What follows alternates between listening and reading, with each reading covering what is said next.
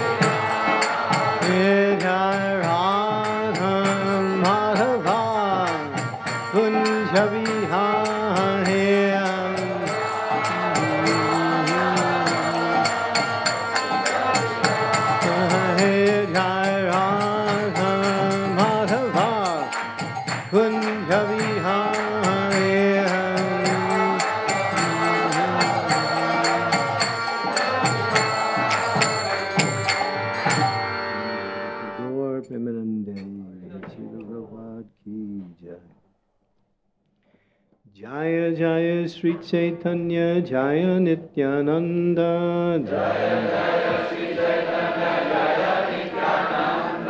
Jaya Jaya Sri Chaitanya Jaya Nityananda Jaya Jaya Sri Chaitanya Jaya Nityananda Jaya Dvaita Chandra Jaya Gaur Bhakta Vrinda Jaya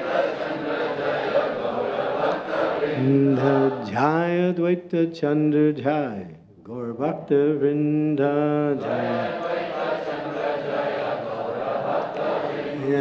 Jaya Jaya Sri Chaitanya Jaya Nityananda Jaya Hey. Jaya Jaya Sri Chaitanya Jaya Nityananda Hey Jaya Dvaita Chandra Jaya Gaura Bhakta Vrinda Hare Krishna, Hare Krishna, Krishna Krishna, Hare Hare. Hare Rama, Hare Rama, Rama Rama, Hare Hare. Hare Krishna, Hare Krishna, Krishna Krishna, Hare Hare. Hare Rama, Hare Rama. Rama Rama Hare Hare Hare Sri Chaitanya Mahaprabhu Ki Jai. So whenever I come to Radha Gopinath for Gaur Purnima, I'm sitting where you're sitting. and I prefer to do that because it's always Radhanath Maharaj who is enlightening all of us. But for those who don't know it, he's coming on the 26th of this month. So, and those who know it, they can even be more happy. so I'm going to try to say something in the position of a student who doesn't, is still learning. One day Sri Krishna Chaitanya Nityanando Sanodito Garodaya Pushpanvanto Chitra Sando Tamodudo. This is from Chaitanya Charitamrita, the second verse from Adi Lila. I offer my respectful obeisances to Sri Krishna Chaitanya and Lord Nityananda, who are like the sun and the moon they have risen simultaneously on the horizons of Gauda to dissipate the darkness of ignorance and thus wonderfully bestow benedictions upon all. Mm. It's a beautiful verse in the Chaitanya Bhagavat. Ajanu lambita bujo kanakama dato sankirtanai papitaro kamalaya takso Vishwambaro Dvijavaro Yugadharma follow Vande Jagat Priyakriyo Karuna Avataro describing the glories and the qualities and the transcendental form of Sri Chaitanya Mahaprabhu along with Lord Nityananda. Hmm. The pastimes of Sri Chaitanya Mahaprabhu as um, as Vrindavan Das Thakur says, he says, I'm standing on the ocean of the devotion of the pastimes of Sri Chaitanya Mahaprabhu. And I'm simply trying to taste one drop of that ocean of nectar. He says that one drop is enough to drown the whole world in love of God. What does that mean? Is that the mercy of Chaitanya Mahaprabhu is un, like an unlimited ocean. It's so deep and so sweet that only even one drop of Lord Chaitanya's mercy can drown the whole world of love of God. This is Mahaprabhu. His appearance in the world is something very rare. Sri Krishna himself appears throughout the different manifestations of the ages in different forms to pravitravanam sarunam vinaysanaya chaduskritam sadharma samstapanartaya sambhavami yuge yuge. He comes whenever there is reasons to eliminate those who are demoniac, irreligious, and again reestablished by his presence true religious principles. Sri Chaitanya Mahaprabhu doesn't come so often, as much as Krishna does in his different manifestations and forms. Of course, Krishna also, in his transcendental form as Krishna in Sri Vrindavan Dham also, is a rare manifestation of the appearance in this particular world. So it says that in every yuga the Lord appears in a particular form. But after 1,000 yuga cycles, that means more than 2 million, 3 million, 200, 3 million 200,000 years, and then you multiply that, it's three, 320 million, 320 million years. And then you time that by a hundred, that's three billion. Three, three billion. it's, I've lost the sense of numbers, but it's a long time. it's a long time. Nobody can even conceive of the amount of time that passes before Sri Krishna Chaitanya Mahaprabhu appears in this world. And only when he comes and Krishna precedes his appearance at the end of Dwapara Yuga is the possibility that the living entities in this world of Bard Bhumi can actually attain to the position of going back home to the spiritual world in Sri Vrindavan Dham. Only then when Mahaprabhu appears, after Krishna appears, is the door to Vrindavan allowed to be opened. And of course, very few can make it into that door. It's a rare place. but in all the other ages, the Lord manifests Himself, and Vaikuntha is available. But it's very difficult. But that's the mercy of Sri Chaitanya Mahaprabhu. He is Krishna himself. Sri Krishna Chaitanya Radha, Krishna Nahiyanya. He appears. It's described in the Chaitanya Mangala by Lochan Das Thakur that one time when Sri Krishna was in Dwarka, he was surrounded by his queens, and he was in a particular palace with his principal queen, Rukmini Devi. And Rukmini was there, and she was massaging the lotus feet of Sri Krishna, Dwarkadish. And in her massaging his lotus feet, she became so overwhelmed with love that her emotions were like an unlimited ocean that was pouring forth from her being. And then she started to speak. And she said, You don't know how wonderful your lotus feet are. And she kept saying it over and over. You don't know how wonderful your lotus feet are. And Krishna's there, he's listening. and then she finally says, Actually, only one person in all of existence knows how wonderful your lotus feet are. And that is Srimati Radharani. So the Lord is hearing that and he becomes a little curious. I don't know how wonderful I am.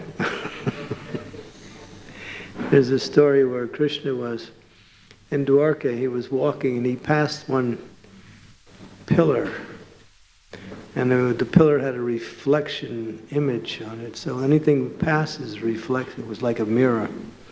So Krishna walked past it, and then he looked, and he came back. He said, "Who's that?" Oh, that's me. he was really. so Krishna, he's even attracted to himself because he's the best. There's no more. That's why his name is Krishna because he's all attractive. And so now he's thinking, I have to find out how wonderful I am, and I can't understand that from my position. So, as it's described in the Shastras, in the Chaitanya Charitamrita by Srila Krishna Das Kaviraj Goswami, the Lord manifests himself for three external reasons in this world and for three internal reasons. The three internal reasons, as we were describing, is to understand what is the nature of Radharani's love for him. What is the quality of that love that is so strong that attracts her completely, absorbed in thinking about him, serving him, and expressing unlimited happiness in that loving relationship? And that is actually the second reason. What is the nature of that happiness that she experiences in relationship to her love for him? Krishna could not understand that from the position of being the supreme object, so he takes the role of the subject. and now he wants to understand himself from her position. That is Chaitanya Mahaprabhu. He's Krishna, but he's, uh, he's in her mood in order to understand her love for him. And the third reason is what is it about him that is so attractive that attracts her love in such a way that there's that she cannot think of anything else but Krishna all the time. How to serve Krishna, how to please Krishna, how to perform various types of pastimes which attract the mind of Krishna, how to act in such a way as to give pleasure to Krishna all the time. That's Radharani's love. In fact, it says there's two things you can never, ever understand. Nobody can understand it. And that is Radharani's love for Krishna and Krishna's qualities, which attract Radharani's love. So, in that loving relationship, Krishna becomes her mood. It's described in the Navadvip Mahatmya. When Krishna was about to appear in that incarnation as Chaitanya Mahaprabhu, he was in Vrindavan with Radharani, and they were together. And he was explaining or describing about his appearance in the world as his golden avatar. And uh, Radharani, she was thinking, You're going to appear in my mood, in a form in this world? You can't live. you won't be able to live. You'll go completely mad and you won't, able, you won't be able to sustain your existence. Therefore, I know I cannot do anything but help you. So she said, I'll give you my color. and that color will protect you from all devastation. So we know Lord Chaitanya is known as Gauranga, And she is Gaurangi. Taptakanchita Gaurangi. Radhe Brindavaneshwari Vrishabhanu Suti Devi Pranamami Hari Priye. She is very dear to Krishna, and he has accepted both her color and her mood of devotion. The external reasons are what we say secondary, as internal is always superior to external. And in those reasons, as it's explained, during the time prior to the advent of Sri Chaitanya Mahaprabhu. And you'll see this in all of the incarnations of the Lord, that there's always some difficulty on the earth planet before the Lord appears. Yada yada hi dharmasya glanir bhavati bharatam abhutanam the dharmasya tatatmanam sajamiham pavitranayam sadhunam vinasanaya chaduskritam dharma samstarpanataya sambhavami yuge yuge. So Krishna says that to kill demons, he doesn't have to come personally. He can create some earthquake or some catastrophe in this material world, and he can swallow up so many demons, millions of demons. That's not a problem. But sometimes, using the excuse of coming to kill demons, he comes to give pleasure to his devotees. I mean, that's a side program. It's just like, you know, if you have a particular activity that you are in main activity in life, but you have a little hobby on the side. So killing demons is like a hobby. Uh, no, just, and today's demon, today's demons, they're like they're nothing compared to Hiranyakashipu and you know Ravana and Kamsa. These, were really big demons. Today they got today's demons are like paper mache. They're like nothing. They're just pieces of you know dust. so the demon now. So now Krishna has. Prabhupada said he was talking about that. He said the demons are increasing. They're going to increase more and more and more. But don't worry, Krishna's here. He's here in the holy name. So if you take shelter of Krishna's holy name, that the holy name can protect you from the effects of the demonic influence completely and perfectly. So Kali Kale Nama Rupa Krishna Avatar Nama Hoiti Haya Sarva Jagat Nishtara.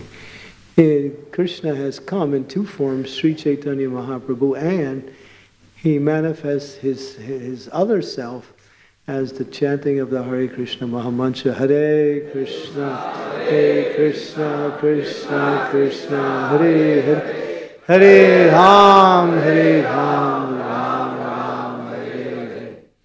So on the excuse of some trying to rectify the, the present materialistic civilization in the area of Navadvip, the Lord came.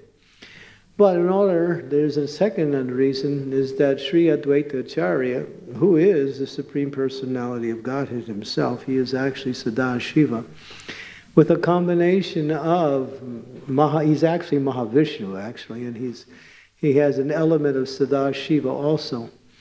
And so he is the compassionate manifestation of Lord Chaitanya's appearance.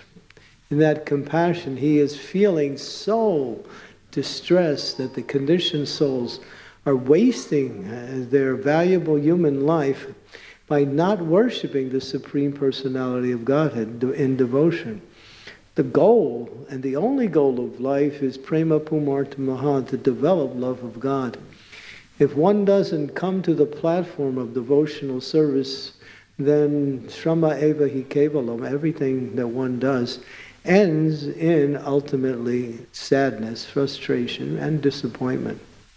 Only those who take to the process of devotional service, their life becomes auspicious and they're on their way back home, back to God, and it's only a matter of time before they achieve eternal happiness and full transcendental knowledge.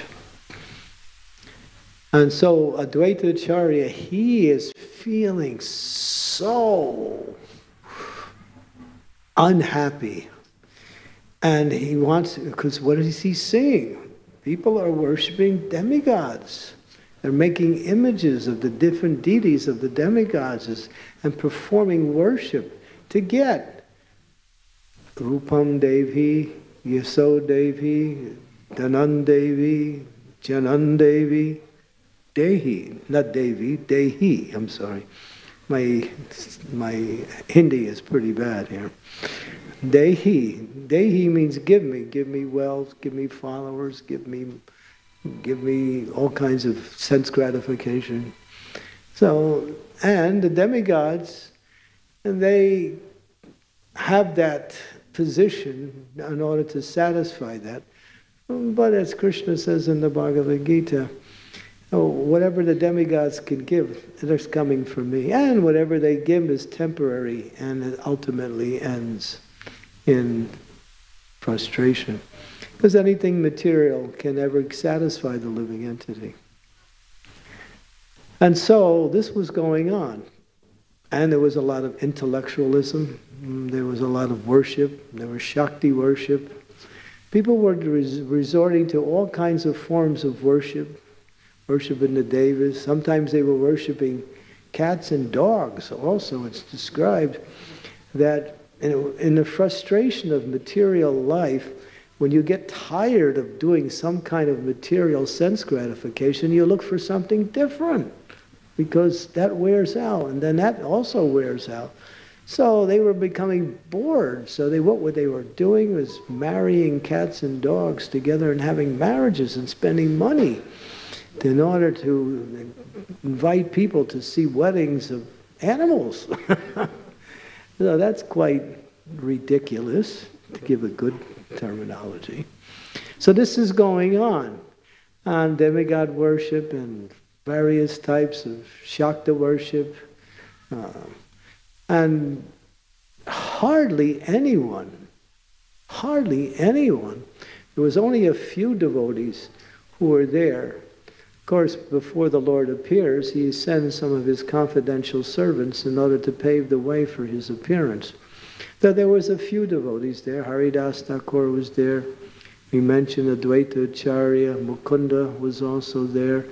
And even before that, the Lord sent Madhavendra Puri to establish the principle of worship, of devotion, pure devotional service, along with the element of Srimati Radharani's bhakti.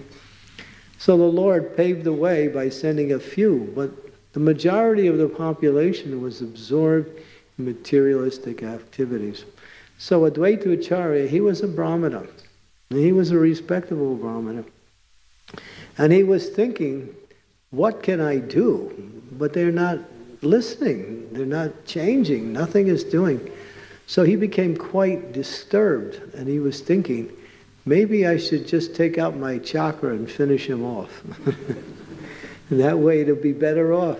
It's actually better off to go to, to lose the opportunity to, to enjoy material life than to, to, enjoy material life. Yeah, sometimes we see that in our a, a person will be put into a difficult situation where they can't enjoy material life because of some situation, and therefore they have to take to Krishna consciousness. That's Krishna's mercy. Or they have to uh, at least refrain from the what we see the degrading activities of sense gratification.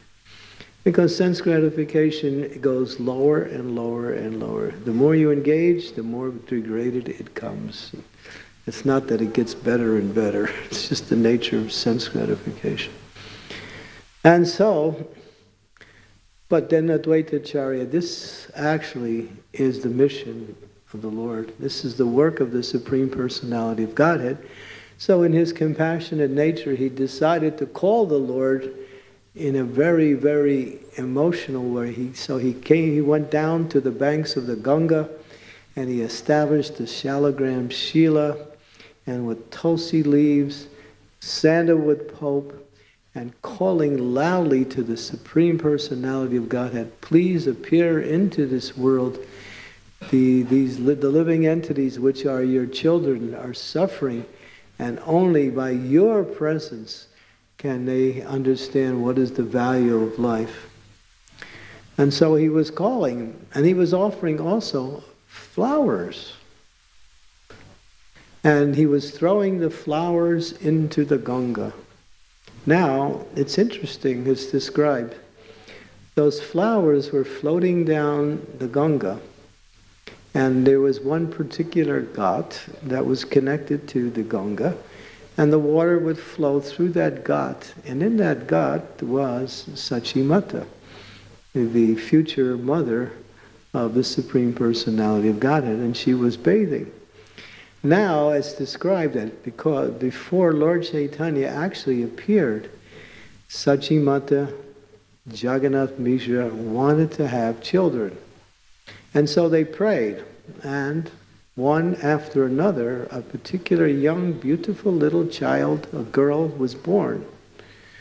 And Sachimata would go to Mother Ganga during that time of the very later part of her pregnancy and worship Mother Ganga for the auspicious birth of the child. But what was happening? This is quite hard to understand. But the flowers that were being offered by Advaita Acharya were floating down to the Ganga and they were coming upon Mother Sachi's womb and they would touch her body.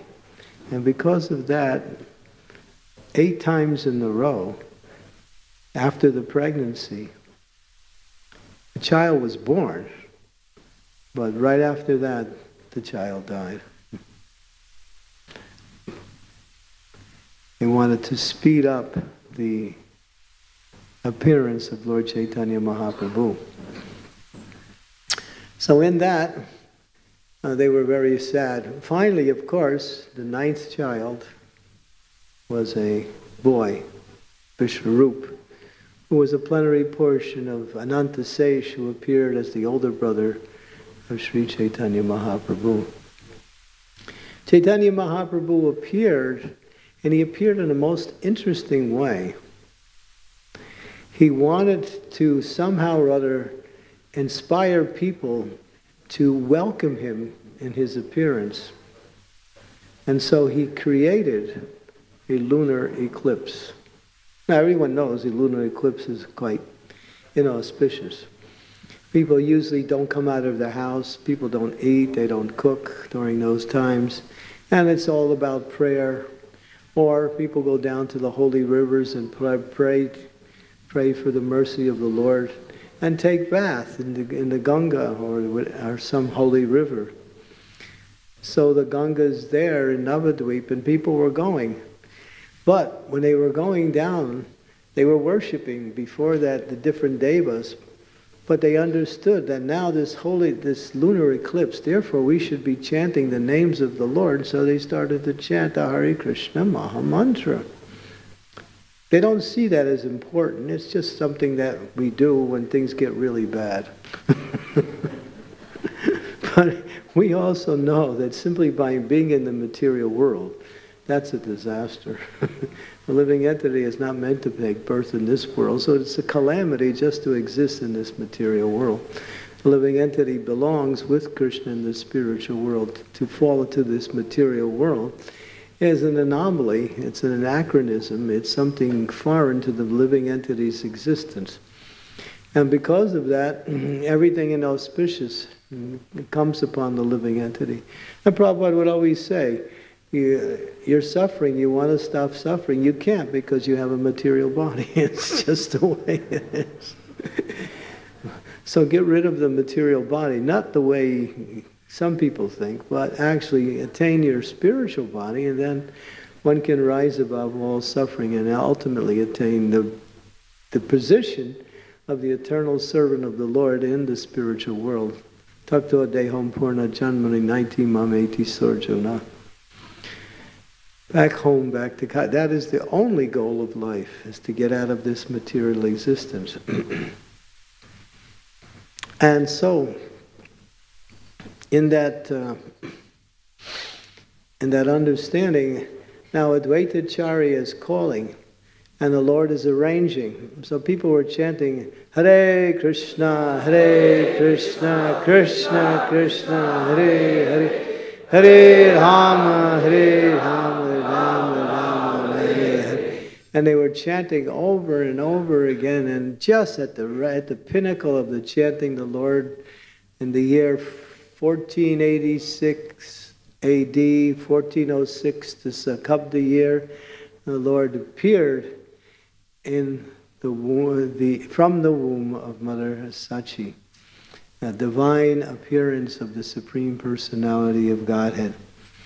And of course, it's described in his appearance how beautiful he was, and it simply attracted the mind of everyone and all of the neighbors came to see. All everyone there was an auspicious ceremony in the house of Sachimata.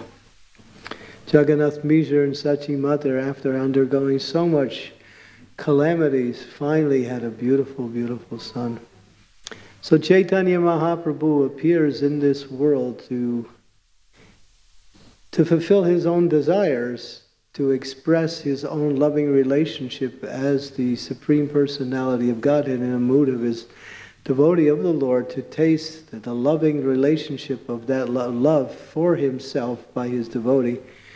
But for us, he benedicts himself by giving us the ultimate principle, the chanting of the holy names of the Lord. When he was just a little child in the house of Sachimata, some of the ladies from the village would come to see him. Also, Advaita Acharya and Haridas Thakur, they had heard about the Lord's appearance.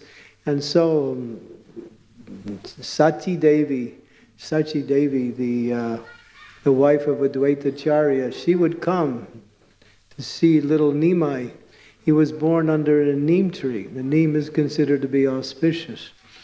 neem keeps away all the ghosts and hobgoblins and various low spirits. And so he was given the name Nimai. now I was just reading yesterday. This is quite strange. The word Nimai means short lived.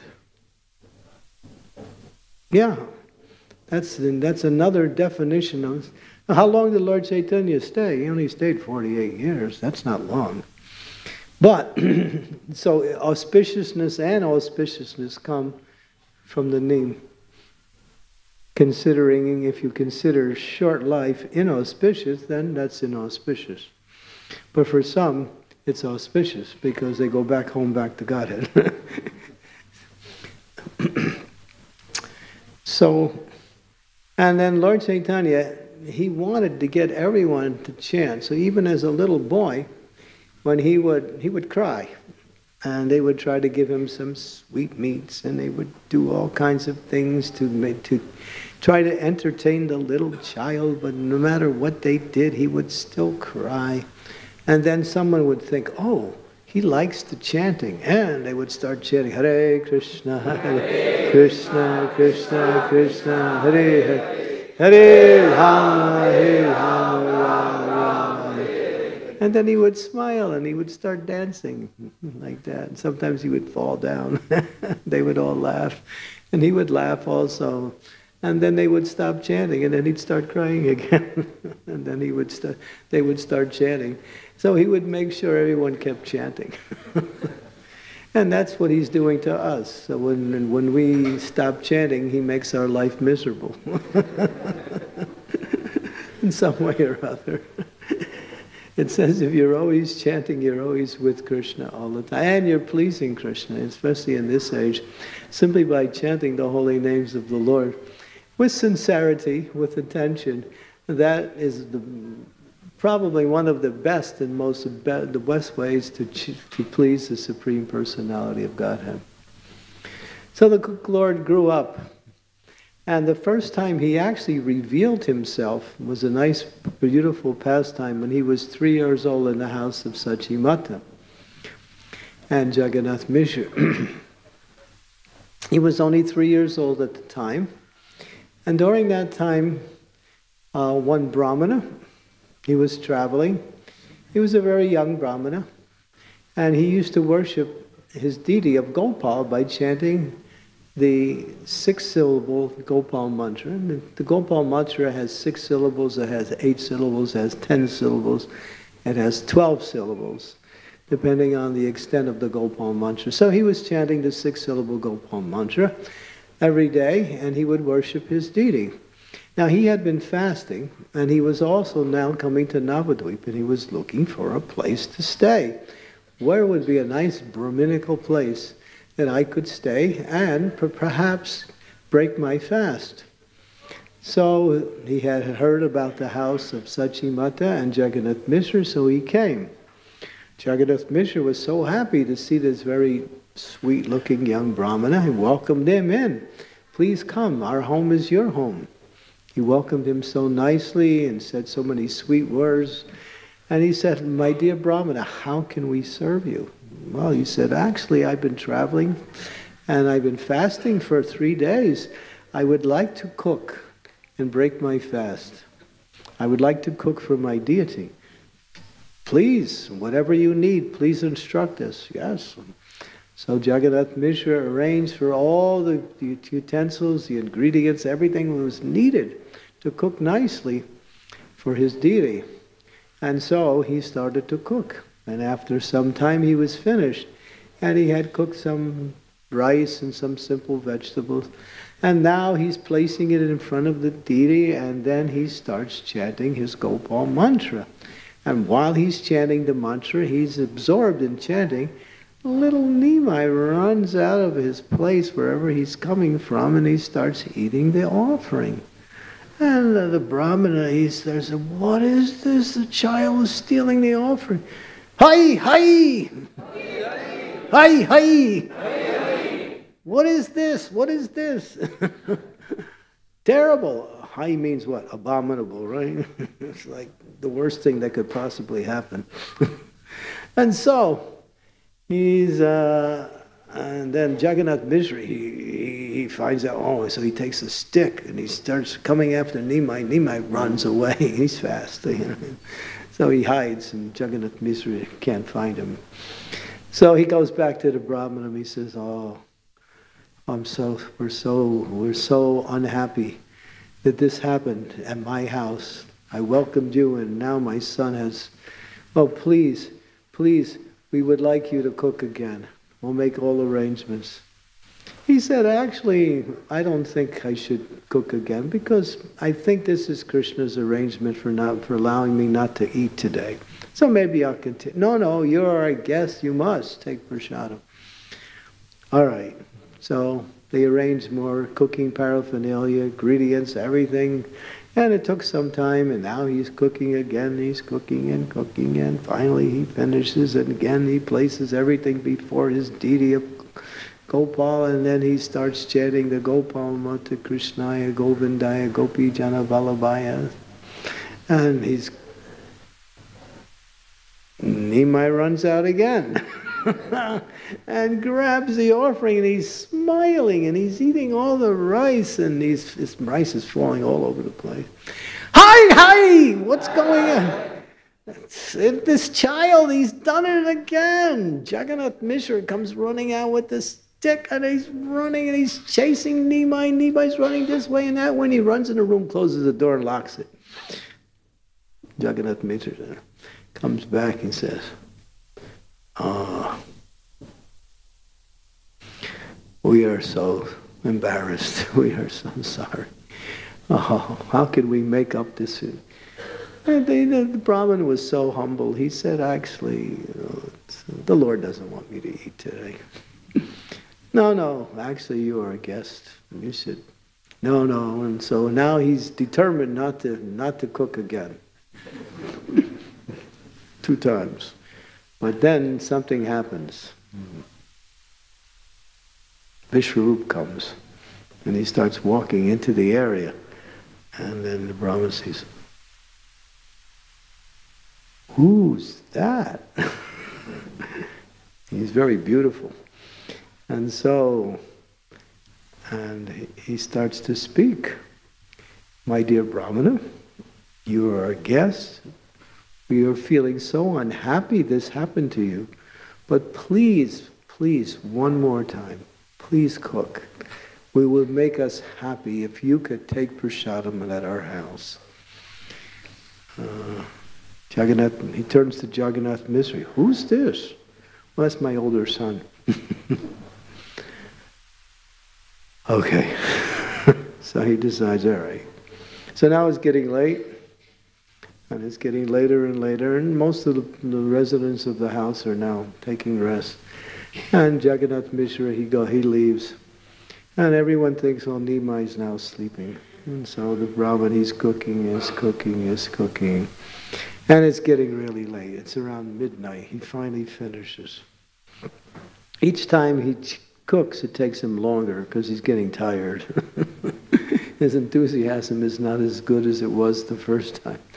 And so now he's, he's ready to make the offering again. He places his deity there and puts everything in front of the deity. And again, he's chanting his Gopal mantra. And guess what? no one else is awake but Nimai. so he comes and he starts eating the offering and Hi, hi, hi.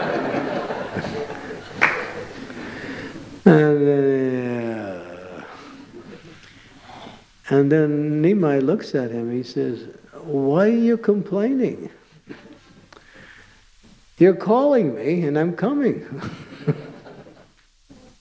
and the Brahmin doesn't know what to think. And then all of a sudden, the whole atmosphere changes. The house is no longer the house of Jagannath Mishra, it's Vaikuntha. It's actually Vrindavan the whole scene turns into Vrindavan. And there's the chirping of the birds, beautiful flowing of the Jamuna River, the trees, And the whole atmosphere is just mm, Sri Vrindavan Dham. And Krishna is there. Little Nimai is now Krishna playing on his flute, smiling, and looking at the Brahmana in a very loving way.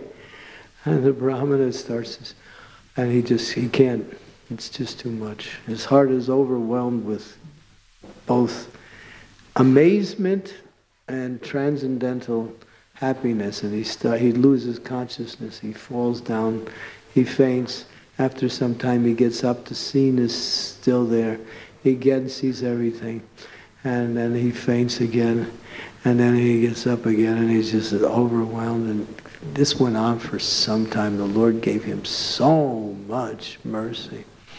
And then he starts singing and dancing and feeling so happy. And then he's singing so loudly and he's just expressing his joy. And the residents of the house wake up and they thought, he finally got something to eat. That's why he's happy. and then finally, the whole scene changes, and then little Nimai is back there again. He says to him, You are actually my devotee for many lives, and I knew you were coming. I wanted to give you some special mercy. But what you have seen here, you should not tell anyone. Because my mission has not begun. I have a mission to spread the glories of the worship of Sri Krishna and Vrindavan to the whole world. So please do not say anything what you say. If something, if you do say something, something bad will happen. And that Brahmin used to come every day to the house of Jagannath Mishra and play with little Nimai. And sometimes his heart was so expressive because when, when you're feeling happy about something, and you know that same happiness will be experienced by others by sharing what you are feeling happy, you want to share it. But he was thinking, oh, can't say. the Lord wasn't. But and he, he came for three months every day. He was coming to the house and playing with me, and so that was the first time in the pastimes of the Lord that he revealed himself to who he actually was, to this very special Brahmana. And so, and the Lord was always performing his wonderful pastimes just to attract the conditioned souls away from the attachment of the material life. The Lord wants his devotees to become happy, and he knows how to make the devotees happy by attracting him with his wonderful pastimes. One time he was playing outside, and uh, there was, and he was playing, and then there was two thieves in the area. So they came by and they saw, hmm, look at this child. Yeah, we would like to steal this child. So they came up to little Nimai and they offered him some sweetmeats and said, Oh, little child, you are so nice. We would like to give you a ride. So please come on our back and we will take you on a nice ride and you will be very, very happy. And so little Nimai said, he got on the back of the thieves and he, they started to go. And they were going to run into their, hide, their hideout and kidnap little Nimai. And so they were running and running and running and going and going. They were thinking they were going to where they were supposed to go, but after some time, they wound up right back in the front of the house of Jagannath Mishra. and then, as soon as that happened, Jagannath Mishra came out, and they got scared, and then they run away. And then, because they were looking for Nimai, and Nimai now he's back. And Nimai said, "Oh, they was I got lost, and I didn't know where I was going. And these two nice men, they found me, and they took me back home." So he was very merciful. One time, little Nimai, he was he was playing with some of his friends, and they were out by the bank of the Ganga, and there was a little litter of just newly born puppies. And so they were, all these puppies were there, and, so there were many, and so the boys were playing with the puppies. So Nimai, he, he took the, the cutest looking puppy out of all of the puppies, and he was playing with that. So the other boys, they got a little unhappy. I want that puppy. no, it's my puppy. No, you can't have it. I'm going to keep this puppy. You can have another. No, no, it's my puppy. so that way Nimai got the best puppy. So he took his little puppy and he went home. And uh, his mother said, Nimai, you can't bring that puppy here. Oh, I like my puppy. I love this puppy. No, no, Nimai. I want to play. So his mother didn't know what to do. She said, Nimai, you, you know, you've been playing and you you need to take bath. So go home, uh, go take bath, and I'll watch your puppy while you take bath. Okay. Uh, but make sure you, he stays here. Yes, mother. His mother said yes. Okay. So he went to take bath, and when he came back, his mother took the puppy and, and told the puppy, you could go. so the puppy left. And so Nimai said, Where's my puppy? I want my puppy. What did you do to my puppy? You took my puppy. I told you not to take my puppy. and so he was looking all over. And yeah, so uh, he couldn't find his puppy. So he was very unhappy. So he went into the town. When he went into the town, that same puppy was there, and the puppy was dancing. somebody was playing some music and the puppy was like dancing and they were dancing. Puppy was dancing and it was dancing. I don't know how puppies danced. I, if I can go back to my earlier, some of my earlier manifestations in this life on earth, I could probably remember what I was dancing like a puppy. But right now it's a little bit lost to memory. So anyway, and he was dancing and then all of a sudden the puppy just fell over and he died. And right at that time he died, a airplane came from the spiritual world and took the spiritual body of that puppy and brought it back to Vaikuntha. Simply by the association of little Nimai when as a child that puppy got liberation. So some people say, well, Lord Chaitanya is merciful. Here's an indication of how mercy. What was the qualification of that puppy? Nothing, except that the Lord was attracted to that particular puppy. And because of that, that puppy actually attained the spiritual world. How merciful the Lord is. Jaya, uh, Srila Prabhupada speaks about Chaitanya's mercy. He says, You may have great intelligence, you may have great opportunities to show your intelligence and be rewarded for your great abilities and understandings. And you may be able to do things that many people cannot do. And you may be uh, given great credit for that. And you may have so many good qualities.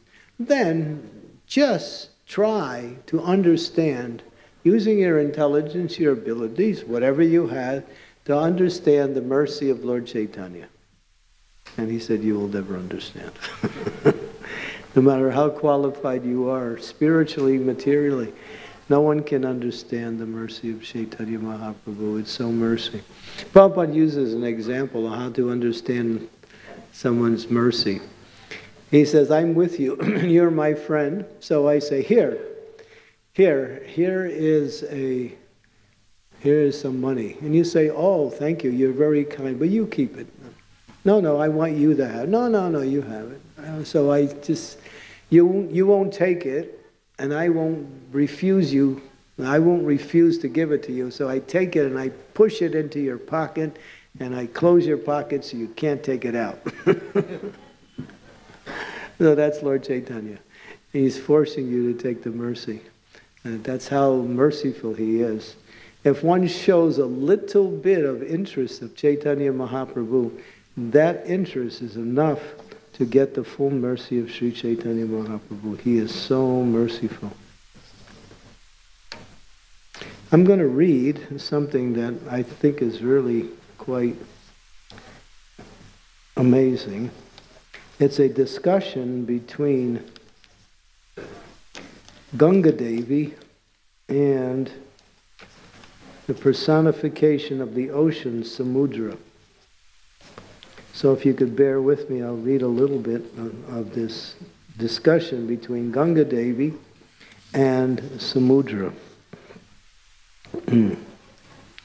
One day, Samudra, the ocean, addressed Ganga Devi and said, There is no one as fortunate as you in all the three worlds. I offer my repeated obeisances unto those who chant the holy name of Lord Hari while sleeping, eating, walking, standing, or speaking. Everyone will sing, sing about your good fortune. Don't cheat me and speak about my happiness. Samudra replied, so Ganga Devi responds by saying that, What are you saying? I, I have to see him. I have to see him in the dress of a sannyasi, which will break my heart. I don't know how I will be able to tolerate that dress of his.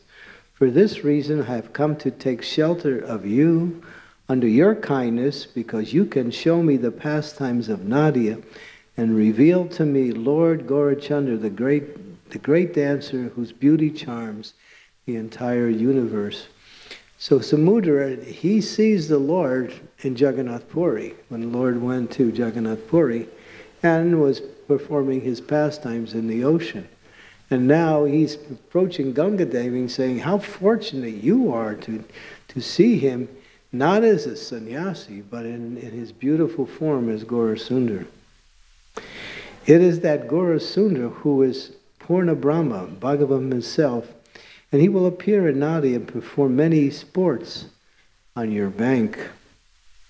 Hearing these words, Jahnavi, Ganga Devi, sweetly replied to Samudra, saying, To whom shall I tell my miseries? Though at first I will get much pleasure from Prabhu by having his association, later I will get great misery. When Mahaprabhu takes sannyas, he will even go stay by your side. There, with your help, I will see Prabhu and his associations all the time. In this way, they constantly thought about the eminence appearance of Prabhu and became very impatient. And it goes on and on and on. So there's a nice discussion between Samudra. And in this place where this discussion took place, it's called Samudra Gadi, where Lord our uh, Ganga Devi and Samudra were discussing the glories of Sri Chaitanya Mahaprabhu, like that.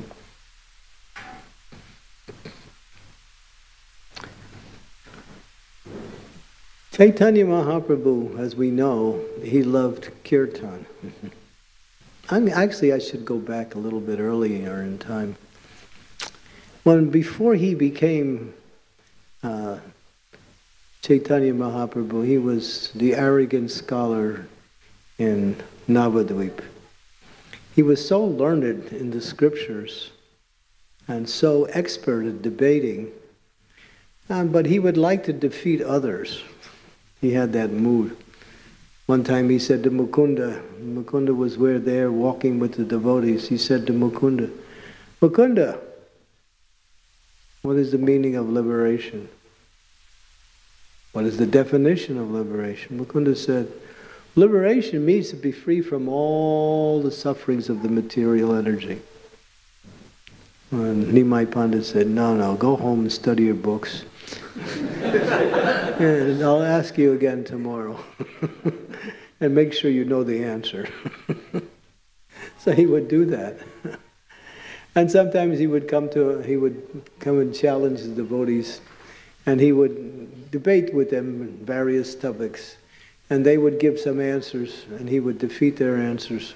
And after he would defeat their answers, he would defeat his own answers that defeated their answers and reestablish their answers. And then he would say, now defeat that, and they couldn't defeat that. And then he would defeat that and establish the other answer he earlier established. so in this way, he, uh, and all of the, the, devotees, they would think, oh, he's so beautiful, he's so intelligent, but boy, he's so proud. if he would just become a devotee of Krishna, so many people would also become devotees. And, and then he would say to them, Someday I'll become a devotee. You just wait. Someday I'll become a devotee. So, of course, one time he left and went to um, Gaya and he met his uh, spiritual master, Iswar Puri. That's a beautiful story. It's described how he was, the Lord went to, to worship in one Vishnu temple. And while he was worshiping the beautiful form of four-armed Vishnu, Ishwar Puri walks into the temple. And immediately their eyes locked in devotion to each other. And then Lord Chaitanya, who was still in the mood of Nimai Pandit, now he sees his spiritual master, becomes overwhelmed with love. And Ishwar Puri says to Lord Chaitanya, later on we will meet. So that night they came together and Lord Chaitanya fell at the feet of Ishwar Puri and begged to him, you know, the goal of life is actually to, to attain Krishna, and without having a spiritual master, one cannot achieve the goal of life. Uh, Tad Vidi, what is that? What is that verse? Tad Vidi, no, not that. No, no, no. Tad. I forget that verse. One must accept a spiritual master. Tad vigyartam guru abigatsche. Tad vigyartam guru abigatsche. One must accept the lotus feet of a spiritual master in order to achieve the goal of life, devotional service to the Supreme Personality of Godhead. And sometimes people think, well, you know, now, why, has, why should I have anybody in between me and Krishna? I have a direct relationship with Krishna. Krishna is in my heart. Why do I need to have someone else to tell me how to worship Krishna? You know, I grew up, my parents were worshiping Krishna, and I know all about Krishna. Yeah, don't tell me anything about Krishna. I don't need any. Yeah, Krishna is there, so yeah, I'm a devotee of Krishna. But what does Krishna says? You rascal, you need a spiritual master. you don't know anything about me. You think you do. so, so Krishna says in the Bhagavad Gita, Tadvidi pratipatene paripasyena sevaya upadeksyanti te jnana jnaninas. That one must do three things. One must approach that person who is qualified to to speak the glories of the Lord and to enlighten others in the process of devotional service. One must be submissive, ask questions, and be ready to offer service. Krishna says that in the Bhagavad Gita. So he establishes how the process by which one can reach him through his bona fide spiritual master. So Chaitanya Mahaprabhu is explaining how, without having a bona fide spiritual master, one cannot achieve the goal of life. And without achieving the goal of life, what is the use of the human form of life? Because the purpose of the human form of life is actually self-realization, atato brahma jigyasa. In this human form of life, self-realization is the, is the actual goal of life. and then Lord Chaitanya starts to glorify Ishwar Puri, and then, of course, the Lord received initiation from Ishwar Puri. When he came back to Navadvip, he was completely different. Now he had lost all of that mood of being the arrogant scholar. Now he was just a humble Vaishnava. And in order to act in that capacity, he would go to the devotees And he would take their clothes that needed washing, he would wash it for them, he would take it, fold it, and give it back to them. He would bring prasadam to the devotee. He would do all kinds of services to devotees, showing by example what it means to actually become a devotee. Gopi Bhatter Badekamalayur, Das Das Anudas. A devotee means to not to be the devotee ultimately in the, in the position of their existence of is an eternal servant of Krishna. But in their activities, they serve the Lord by serving those who serve the Lord. As Krishna says, in the Adi Purana, those who say they are my devotee, they're not my devotee. But those who say they're a devotee of my devotee are actually my devotee. So to serve the Lord means to serve those who are serving the Lord. And this is actually the position that attracts the attention of the Lord. Prabhupada gives a very simple example. A rich man, what can you do for a rich man? He has everything. A person who is popular, rich, famous. There's nothing you can give him. But he has a child, and if you do something to please his child, give a little lollipop or some candy or make the child happy in some way, that rich man becomes very inclined to show favor to you because he's happy. You love someone that he loves, or show you made someone who he loves happy.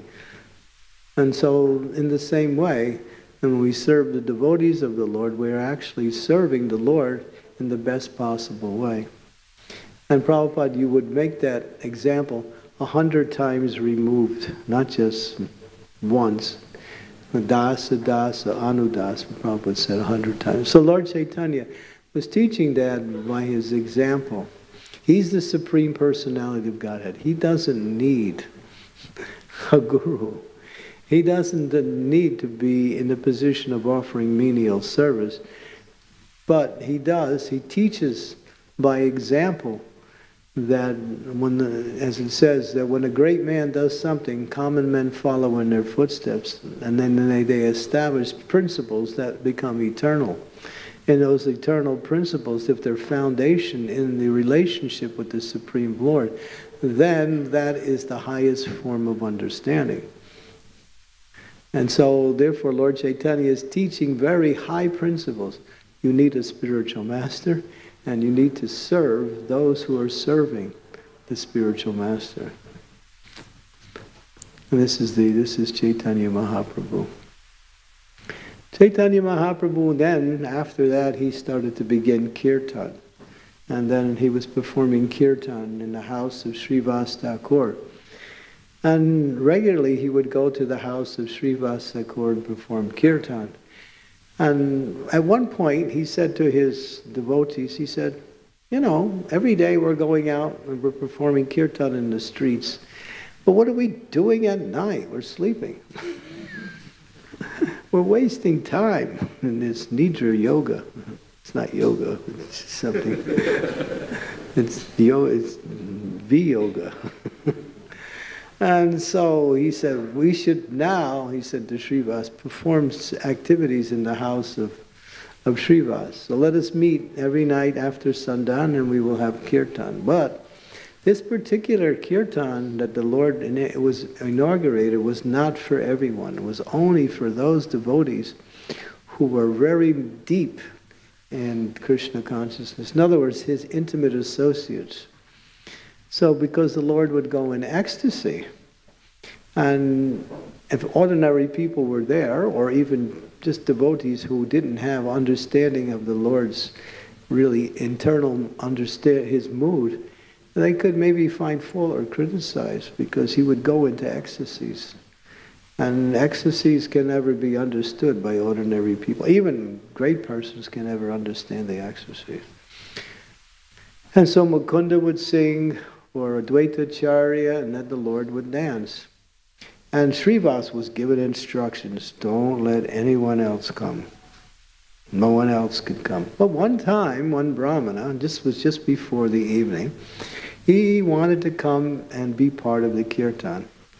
Now this Brahmana was very austere. He drank only milk. that was his whole program. He lived on milk alone. And so he, he was very humble. He said, Oh, I hear, yeah, you know, uh, Chaitanya is going to be doing his kirtan in your house. I would like to come and see. Srivas says, Oh, this is not possible. Mm, but please, I, you know, I, I'm very austere, and you know, I worship the Lord, and I drink only milk. And Srivas was somewhat, his mind was inclined. So he, he said, all right, you can come, but you have to hide. If Lord Chaitanya finds out, he will become very unhappy. So he, he hid the Brahmana, and Lord Chaitanya, he's there, and the kirtan starts and the Lord starts to dance. And after a few moments he stops and thinks, something's wrong. There's somebody here that doesn't belong here. So the kirtan begins again, and again after a few moments he stops. So now he's really concerned. So he goes to Srivas. Srivas, is there someone in this house who does not belong here? And Srivas said, Well, you know, it's just your associates. But since you asked, there is one Brahmana, and he's very simple. He drinks only milk.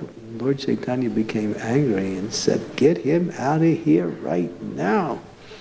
And so the Brahmana, when he heard, he ran and he fell at the feet of Lord Chaitanya and offered nice prayers. And then he got up and the Lord Chaitanya said, do you think that you can get Krishna simply by drinking milk?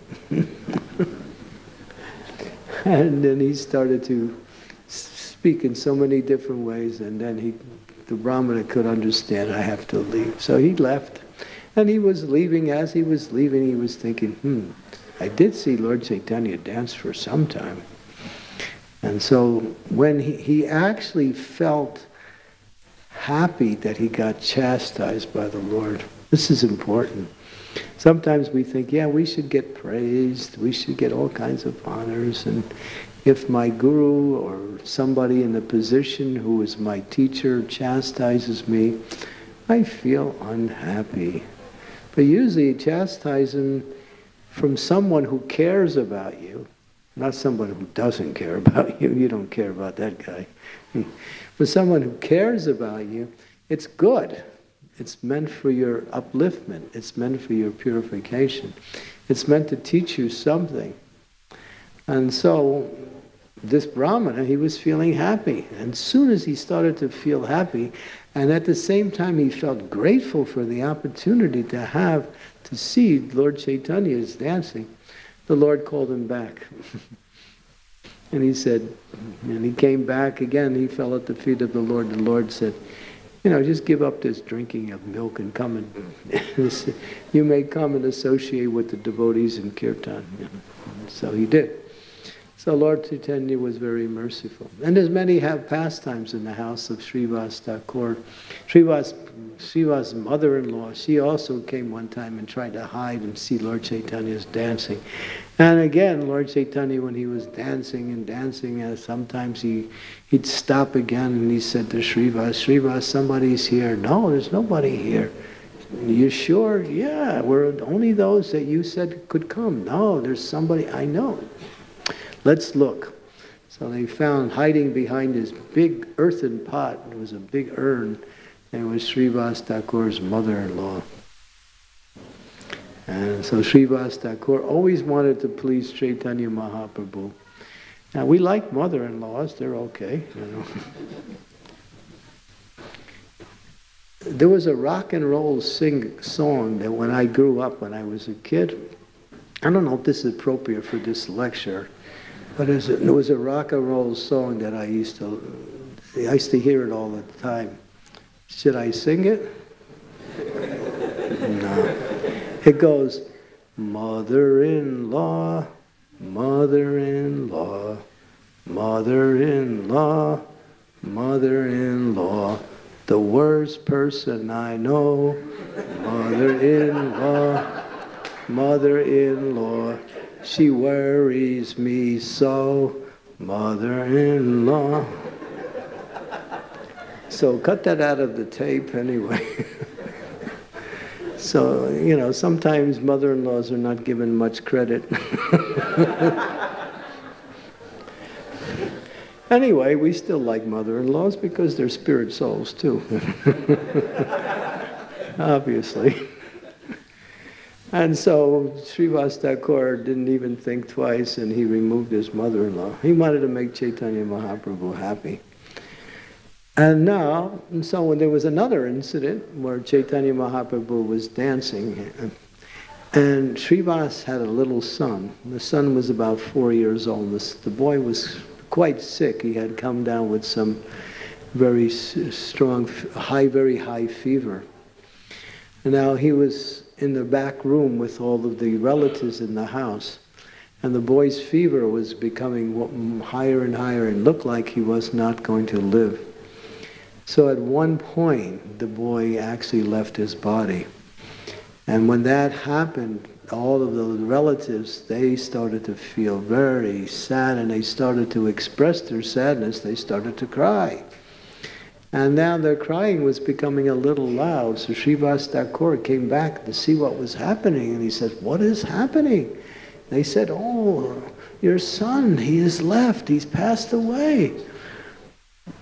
Yeah, but don't cry so loud. You're going to disturb Lord Chaitanya's dancing. And so he left. And so Lord Chaitanya continued to dance, and he was dancing and dancing. And now it's practically the next morning, and it's just before sunrise, and Lord Chaitanya stops his dancing and he calls Srivas over and he says, Srivas, I have a feeling something went wrong today, this evening. Srivas said, what could, what could go wrong? You're here. because you are here, everything is auspicious. No, no, I feel something is wrong. Well, since you mentioned it, my lord, my son, oh, really? When did he he died about seven and a half hours. Why didn't you tell me? So take me. So he went back to the room where the boy was there, and the boy was laying there, and the relatives were still grieving. And Lord Chaitanya went right up to the boy, placed his hand on the boy's chest, and he said, My dear beloved son of Srivas, where did you go? And then he rose up, came back from the dead. He looked around. Everybody was amazed. He's back. And then he said, the boy started to speak. He said, My dear Lord, I'm your eternal servant, and my time in this body is finished. And by your will, I have go- I'm going on to my next destination. And he laid back down again, and he died. and so, when everyone saw that, they become a little bit pacified. And Srivas Thakur, uh, Lord Chaitanya said to Srivas Thakur, Srivas Thakur, your love for me is the, is the most beautiful. Therefore, I can never, ever, ever leave you. He said something mysterious when he said that.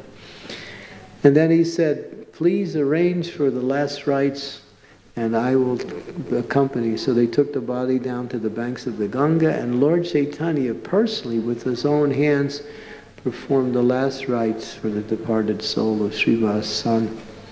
Just to show his love for Srivas, he did the ceremony himself. When Lord Chaitanya said, I could never leave you, everybody was bewildered. Why is he saying that? Does he have some plan to leave? But that was the first time he indicated that soon he would be leaving Navadvip and going on to take the sannyas order. The second incident that, that is aligned with that is one day Lord Chaitanya was uh, walking along the banks of the Ganga, and there was one brahmana there. He was he was a nice brahmana, but he was a little bit upset because he wanted to get into the house of Srivas and become part of Lord Chaitanya's dancing program. But they wouldn't let him in. So he became a little angry. And he was a brahmana and he was refused.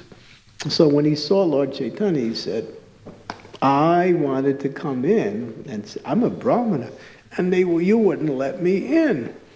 I don't know what you're doing in there, but because I'm a respectable person, you would not let me in. Therefore, I'm going to curse you. And took out his Brahmin thread and he snapped his thread. I curse you that you will never enjoy material happiness. The Lord started to dance.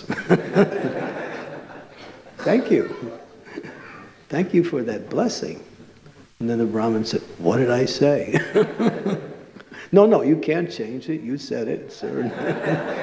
Thank you very much. And no more material happiness. and then that was the second incident that indicated that the Lord would eventually take to the sannyas order of life. So there are many wonderful pastimes. Of course, the, the pastimes are unlimited. I'll tell a few pastimes of the Lord because just to hear about the Lord's pastimes are just so sweet. Um, Advaita Acharya, he, he never wanted to, he wanted to honor Lord Chaitanya as the Supreme Personality of Godhead. But the Lord wouldn't let him do it. And he was very strong about that. Because Chaitanya Mahaprabhu, one of his missions was, or one of part of his mission was, to remain in the mood of a devotee of the Lord and never be honored or be glorified as the Supreme Personality of Godhead. Why? Because so many people at that time were claiming to be incarnations of the Lord or the Lord Himself, some aspect of the Godhead. We see that even today. It still goes on. Somebody becomes very powerful, develops some mystic power, gets, gets a few followers, has a dream, and now they're Bhagavan. But they still have to go to the doctors when they get sick. this, is, this is Bhagavan. Today's modern day Bhagavans. Anyway, so this was very strong at that time. And so Chaitanya Mahaprabhu, in order to teach that the living entity is not the supreme, even though he was the supreme, he refused to be called or honored as the supreme personality of Godhead. He wanted to teach that, which is very important because uh, this is the greatest, as Prabhupada said, this is the greatest cheating in the world today. If, if a policeman yeah. A policeman is a person who's supposed to give you protection, some help. But if a thief dresses up as a policeman and he looks like a policeman, but he's actually a thief, he's going to act in a different way, although he appears in one way, another way. He appears as someone to help, but he's actually someone to cause difficulty. So when people pretentiously or surreptitiously or even cheatingly manifest themselves and claim to be the Supreme Lord, they actually cheat people. It's the greatest cheating that goes on. And even today we see there are so many so-called swamis and yogis who like to, you know, present themselves as being Bhagavan or an incarnation or maybe Lord Shiva or somebody. but as Prabhupada said, they're all cheaters. Unless you find that in the scriptures, the Supreme Personality of Godhead is given authority by a scripture, not by someone's declaration like that. If it's not in the scriptures, then it is cheating. And so Lord Chaitanya was very strong about being called that. So Advaita Acharya, he wanted to worship the Lord as the Lord. So one time the devotees were having kirtan, so he said to the devotees, now we're going to have a special kirtan. We're going to chant Gauranga. We're going to chant Gauranga. We're not going to chant Hare Krishna. we're going to chant Gauranga. And the devotees were thinking, oh, boy, this is, uh, Lord's not going to like this. But he wasn't there. Lord Chaitanya wasn't there at the time. So, and Dvaitacharya was very enthusiastic. So he said, come on, we're going to chant Gauranga, Gauranga, Gauranga, Gauranga, Gauranga, Gauranga, Gauranga. So they were, so all right. So he got all the devotees going. So they're chanting Gauranga, Gauranga, Gauranga, Gauranga.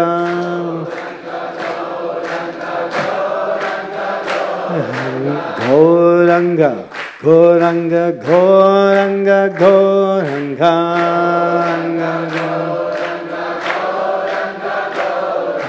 Gauranga. Gauranga, Gauranga, Gauranga.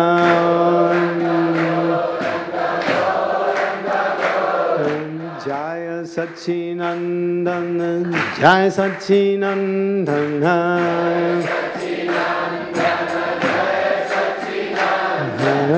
Jai Sachinandan, Jai Sachinandan.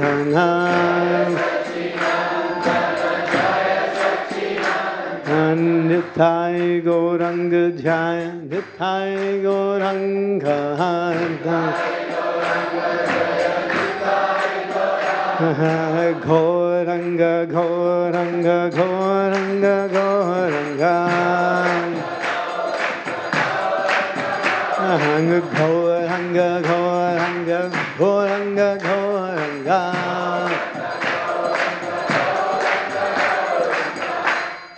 So they were chanting and dancing and singing Gauranga. And then Lord Chaitanya, from a distance, he's hearing, wow, kirtan. Okay, I'm he starts getting closer. And then he starts getting really close. And he's, what are they chanting? They're not chanting Krishna's name.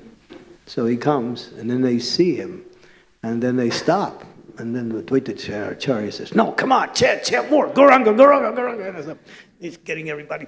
Uh, so they don't know what to do. so, and Lord Chaitanya just turns around and he walks away, goes back in his room and closes the door and goes to sleep. and after some time, he gets up and Srivas is there. And he says to Srivas, why don't the devotees chant Krishna's name? Why are they chanting this other? And Srivas goes like this, puts his hand up. That's out, it's during the day and he's putting his hand in the direction of the sun. Uh, Lord Chaitanya says, What are you doing? I'm blocking the sun. You're blocking the sun with your hand? You can't do that. That's true, my Lord, nor can you hide from us. you are like the sun, and therefore you, you cannot hide. The Lord Chaitanya remained quiet. he didn't say anything and just walked away. Another time, Lord Chaitanya said to Srivas, Srivas, you know, you got a big family, so many all together, but you don't have any occupation. How do you live? How do you supply food for the family? What's your secret? Srivas went, clapped three times. And Lord Chaitanya said, What does that mean? Well, my Lord, one time, if the Lord doesn't feed me, one day, two days, if he doesn't feed me and my family, takes care of us, Three days, if he neglects us, I drown myself in the Ganga. Lord Chaitanya became so happy and he roared so loudly. I'm not going to try that. but he roared so loudly and he said, Srivas Thakur, even if the goddess of fortune Lakshmi has to go with a begging bowl from door to door to beg alms, there will always be food in your house. Ah. He, he wanted to show that anyone who worships the Lord, the Lord will take care of that devotee. So I tell that sometimes to other people, and they say, Does that mean I should quit my job? I say, Yeah. Only if you have that faith. Because if you don't have that faith, it doesn't work. but if you have faith that simply by worshiping the Lord, the Lord will take care, and you have that faith completely, it works. because it's the faith that works. It's not anything else. If you have complete faith in the Lord, that I've simply worshiped the Lord, my life is simply centered around worshiping the Lord and serving the devotees, there's no loss. There's no loss. And so this is the Lord is very kind and very inclined to serve his devotees who have complete dedication to his lotus feet and devotion. One time, well, this is oh, well, after the Lord went to Jagannath Puri. Of course, I'm skipping some other smaller pastimes in between. But before the Lord went to Jagannath Puri, when the devotees in Navadvip found out that the Lord was actually, actually, he had taken sannyas and now he wanted to go to Vrindavan. He actually wanted to go to Vrindavan.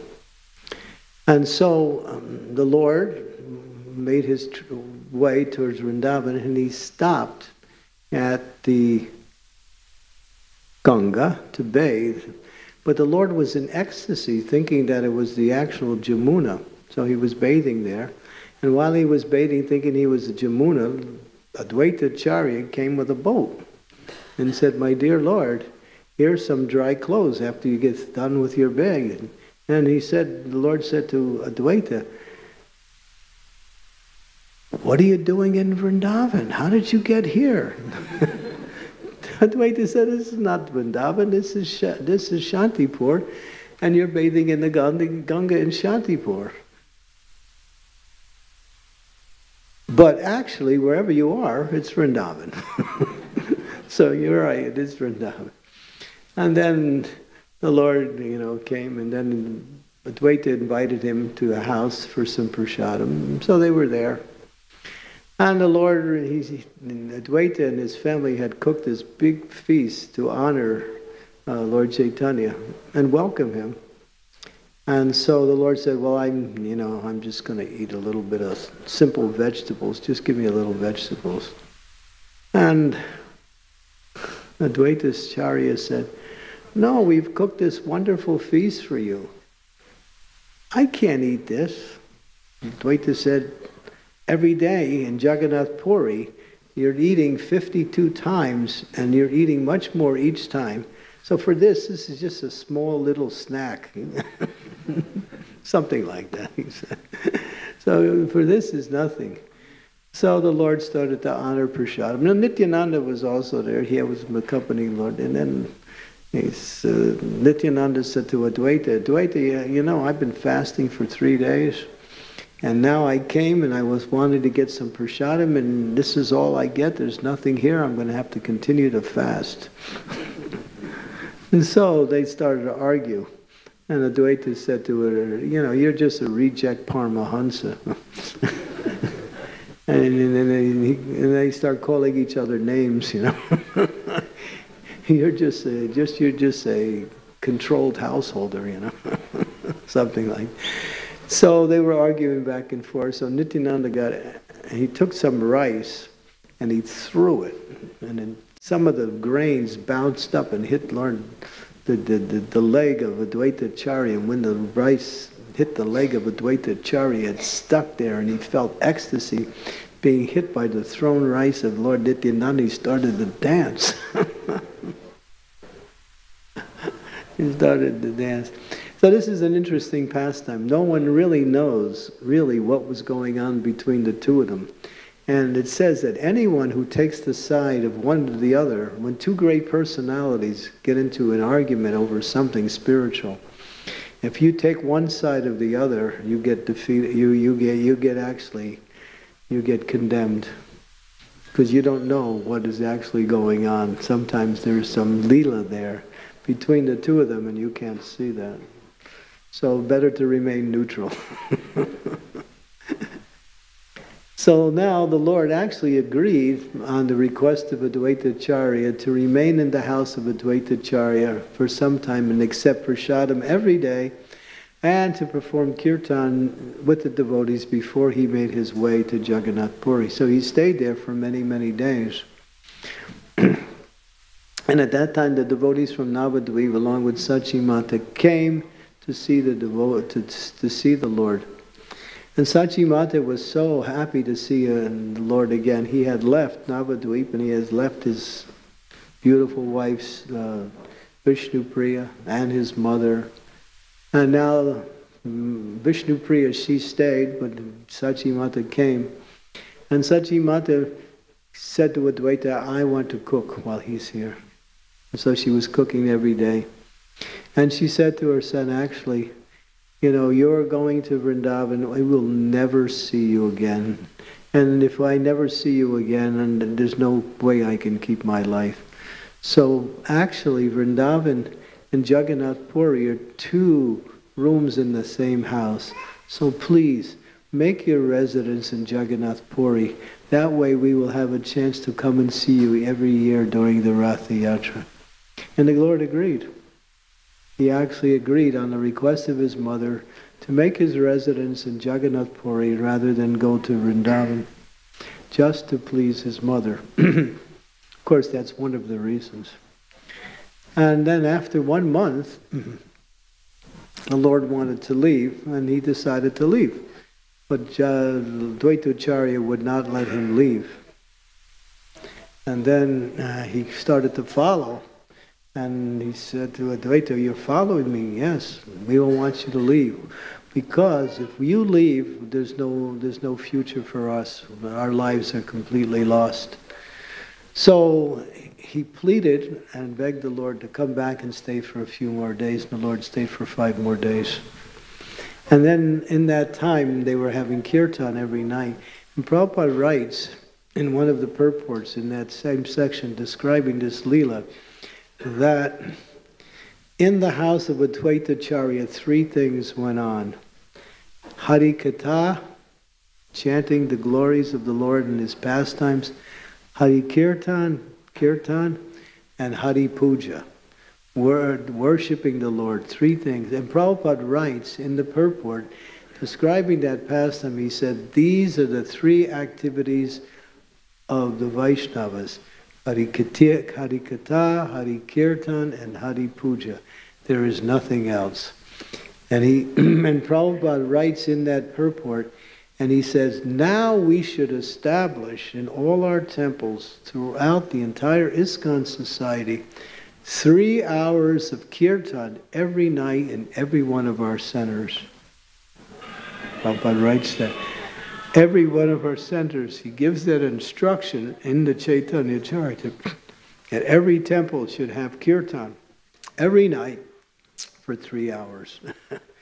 because that's Lord Chaitanya's mood. And we're worship we are worshippers of Lord Chaitanya. We worship Krishna by worshiping Chaitanya Mahaprabhu, because by worshiping Chaitanya Mahaprabhu, we are worshiping Krishna. And we're also pleasing Lord Chaitanya, which means he opens up the door to Radha Krishna's worship in Vrindavan. There are many wonderful pastimes when the Lord was in Jagannath Puri. one year, when during the Ratha Yatra, and this was the time when King Prataparudra was the king of Jagannath Puri, and um, he was also a great devotee of Lord Chaitanya. And he always wanted the association of Lord Chaitanya. And he made his request to the devotees that I want to associate with Lord Chaitanya. I want, I want to just get his darshan just once. But the Lord would not allow it. He said, because he is engaged in material affairs for a sannyasi to associate with people who are engaged in pounds, shilling, and pence is worse than drinking poison willingly. He quotes that one verse. that, sim- that, that by associating with materialistic persons in the activities of material life, it is worse than drinking poison willing for one who is seriously engaged in devotional service. And so he refused. He wouldn't allow Lord uh, Advait, he wouldn't allow um, King Prataparudra. But the devotees knew how much Prataparudra won, and they also knew he was such a dedicated devotee of the Lord. So they were trying in different ways. The Lord actually said, if you continue to try to encourage me in that way, you will not see me here again. So they remained quiet. they became scared. So, but Nityananda had a plan. So he told the devotees, tell the king to send um, his son so the son is the representative of the father. So the boy came. And the boy was so much like Krishna. he was so beautiful. He actually had very similar features of Sri Krishna. And when Lord Chaitanya met the boy who came on behalf of his father, he said, Oh, this boy looks just like Krishna. He's so nice. And so he showed his affection for his the, the son of King Prataparudra. But that's the closest thing he could. But still, King Prataparudra still wanted to get, so the devotee said, why don't you send a garment, a garment, one of your uh, gar- garments to, from Lord Chaitanya to King Prataparudra, he will be very happy. So the Lord agreed. He took off one of his garments and gave it to King Prataparudra. But he would never, but still, the devotees wanted it and King Prataparudra wanted it. So when the, when the, when the Rath Yatra came and the Lord was beginning to dance in Kirtan, the Lord separated the devotees into seven different groups, and they were dancing in front and all around the Jagannath cart.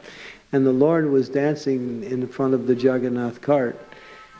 And, uh, and the dancing was going on, and each in every group there was a lead singer and a lead dancer, and there were seven groups, and uh, the Lord performed something very transcendental, transcendentally mystical. He started to dance, and every group thought that Lord Chaitanya was present in his in that particular group. So every devotee group was thinking, "Wow, we get the association of Lord Chaitanya," but he was simultaneously in all seven groups, dancing and chanting, and they were all feeling happy. And two people actually three, but two, may, two people could see that. One was Lord Nityananda. The other one was Sarvabhauma Bhattacharya, who was with King Prataparudra.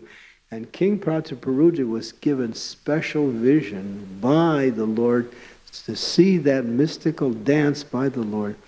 And he, he could actually see the Lord dancing in the seven different groups simultaneously.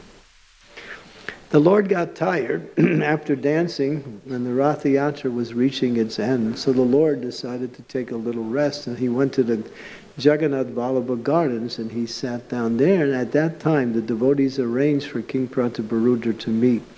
They said, "You can now. Here's your chance to actually uh, get the association of the Lord, but you cannot go in those garments. You have to down some simple cloth." So he took all his off his royal garments and put on some simple dress. And he went, and the Lord was there. He was laying down, and he was tired, and he was still in ecstasy of the kirtan.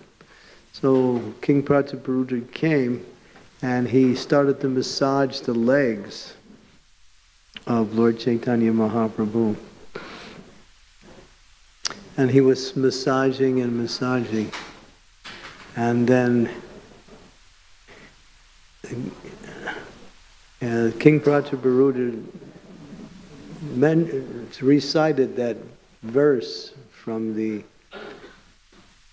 Srimad Bhagavatam where the gopis Tava Kathamritam Tapta Jivanam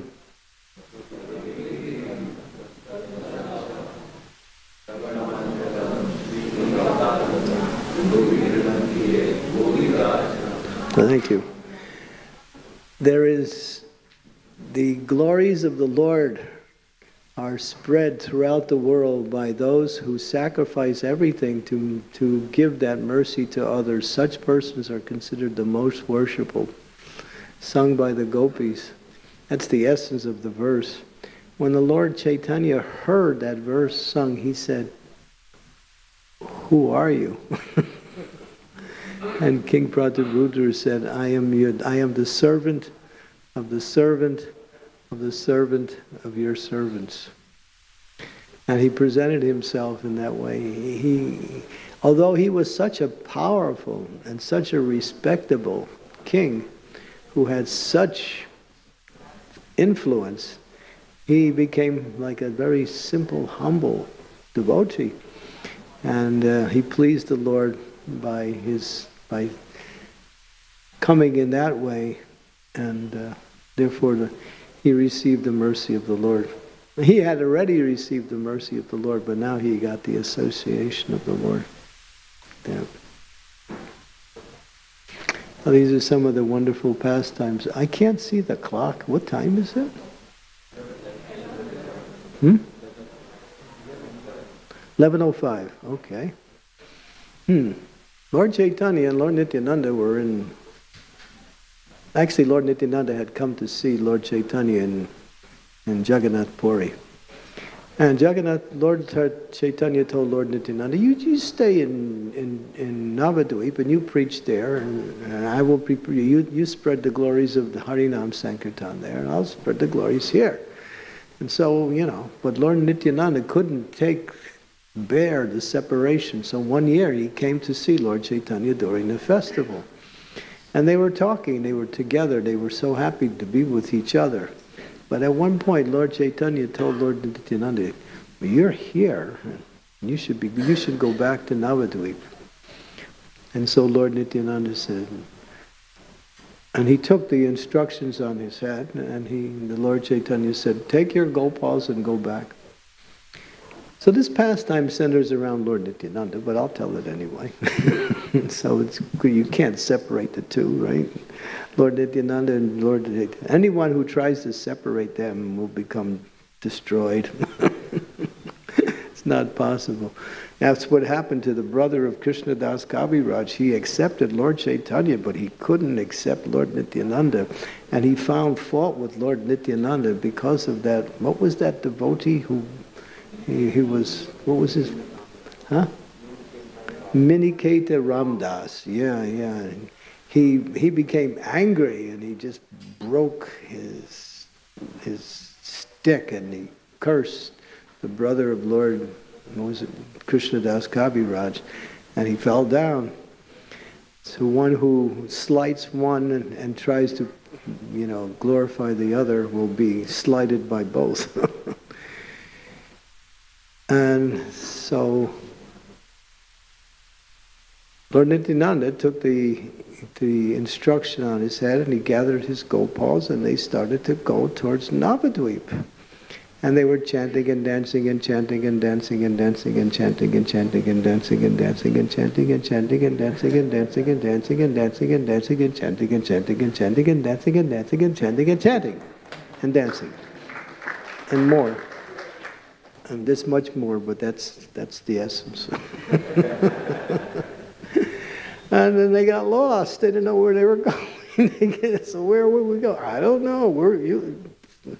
Well, we should ask somebody. So they asked some of the villagers, where, which way is it now? Oh, hi, hi. You have to go six miles that way take the road and Okay, so they changed directions, got on the road, and started going and chanting and dancing and dancing and chanting and chanting and dancing and dancing and dancing and dancing and dancing and chanting and chanting and chanting and dancing and dancing and chanting and dancing and dancing and chanting and doesn't there's no difference between the two. Chanting and dancing and dancing and chanting.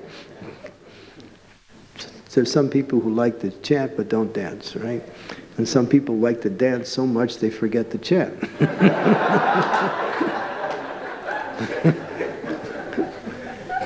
No, not like that. Put them together, and they go together. So when you chant, you dance, and when you dance, you chant more. That's the idea. And so they got lost again. Oh, so we should get some directions again. So again, they got directions, and hi, hi, 20 miles that way, go follow the Ganga, and it leads you to Navadvip. So they did. They, and they finally they got to the area of Navadvip. They came to the house of of Raghava Pandit. And Raghava Pandit greeted Lord Nityananda and all his gopals, and he came out with a garland. And he put the garland on, and Lord Nityananda said, Do you have a garland of kadamba flowers?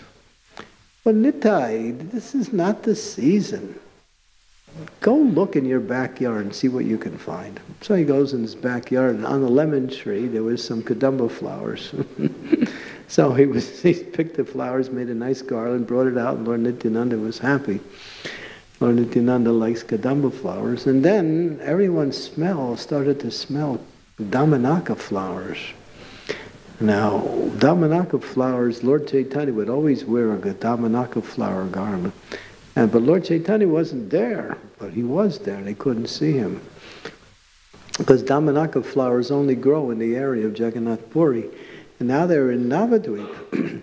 and so everyone was thinking, not everyone, a few people, maybe Lord Chaitanya is also here, but actually a few people could actually see.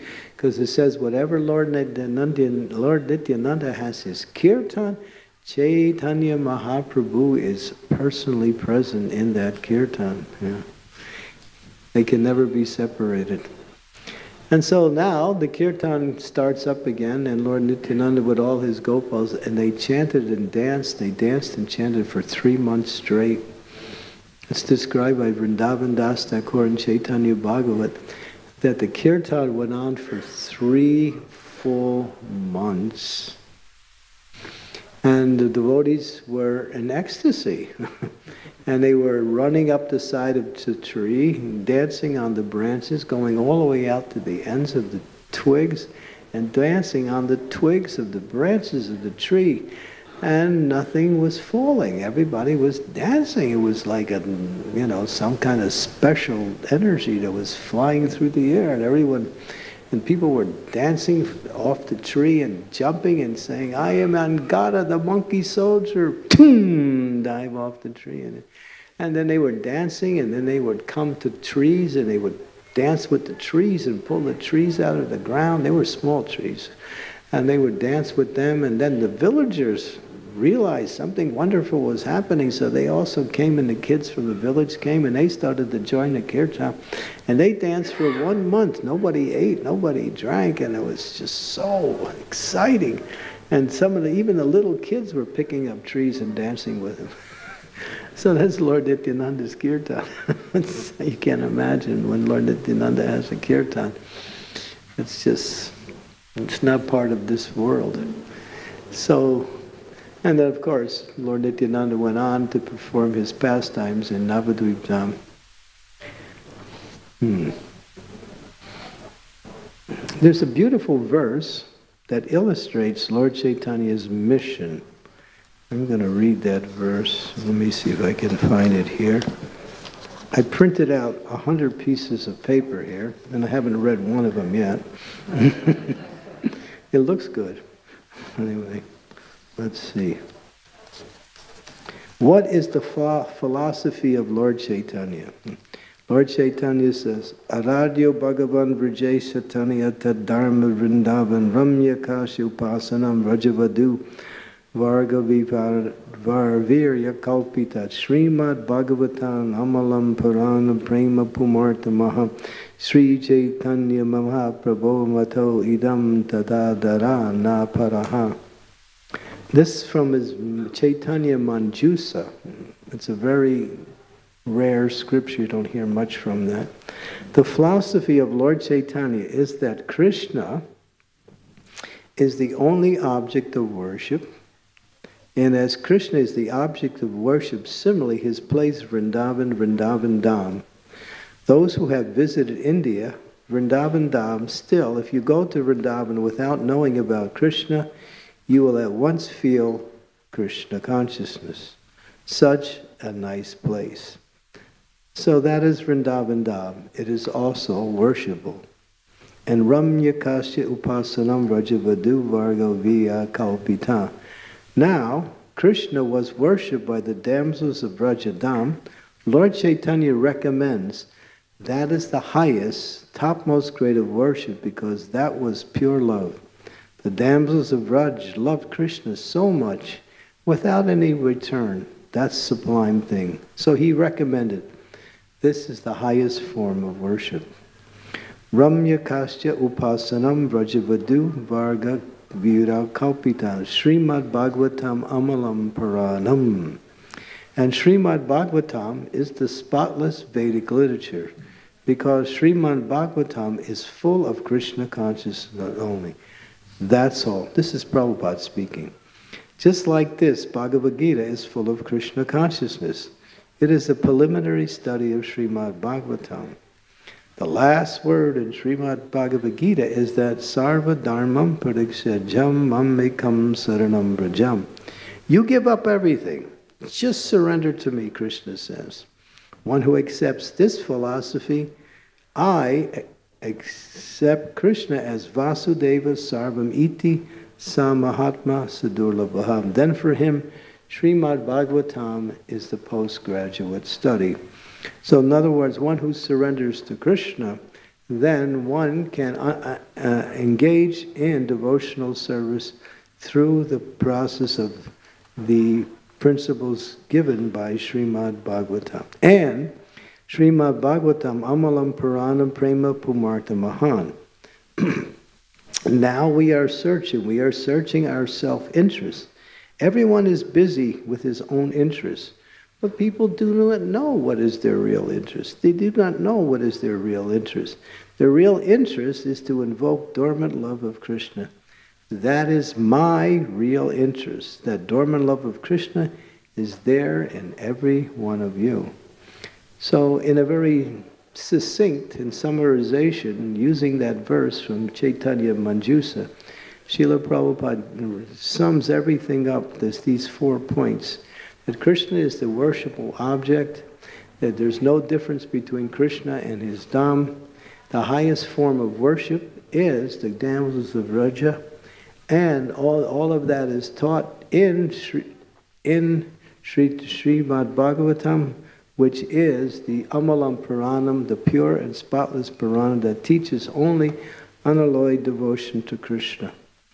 And those who worship Sri Chaitanya Mahaprabhu will also understand that these are the principles that he taught. These are his essential principles. Hmm.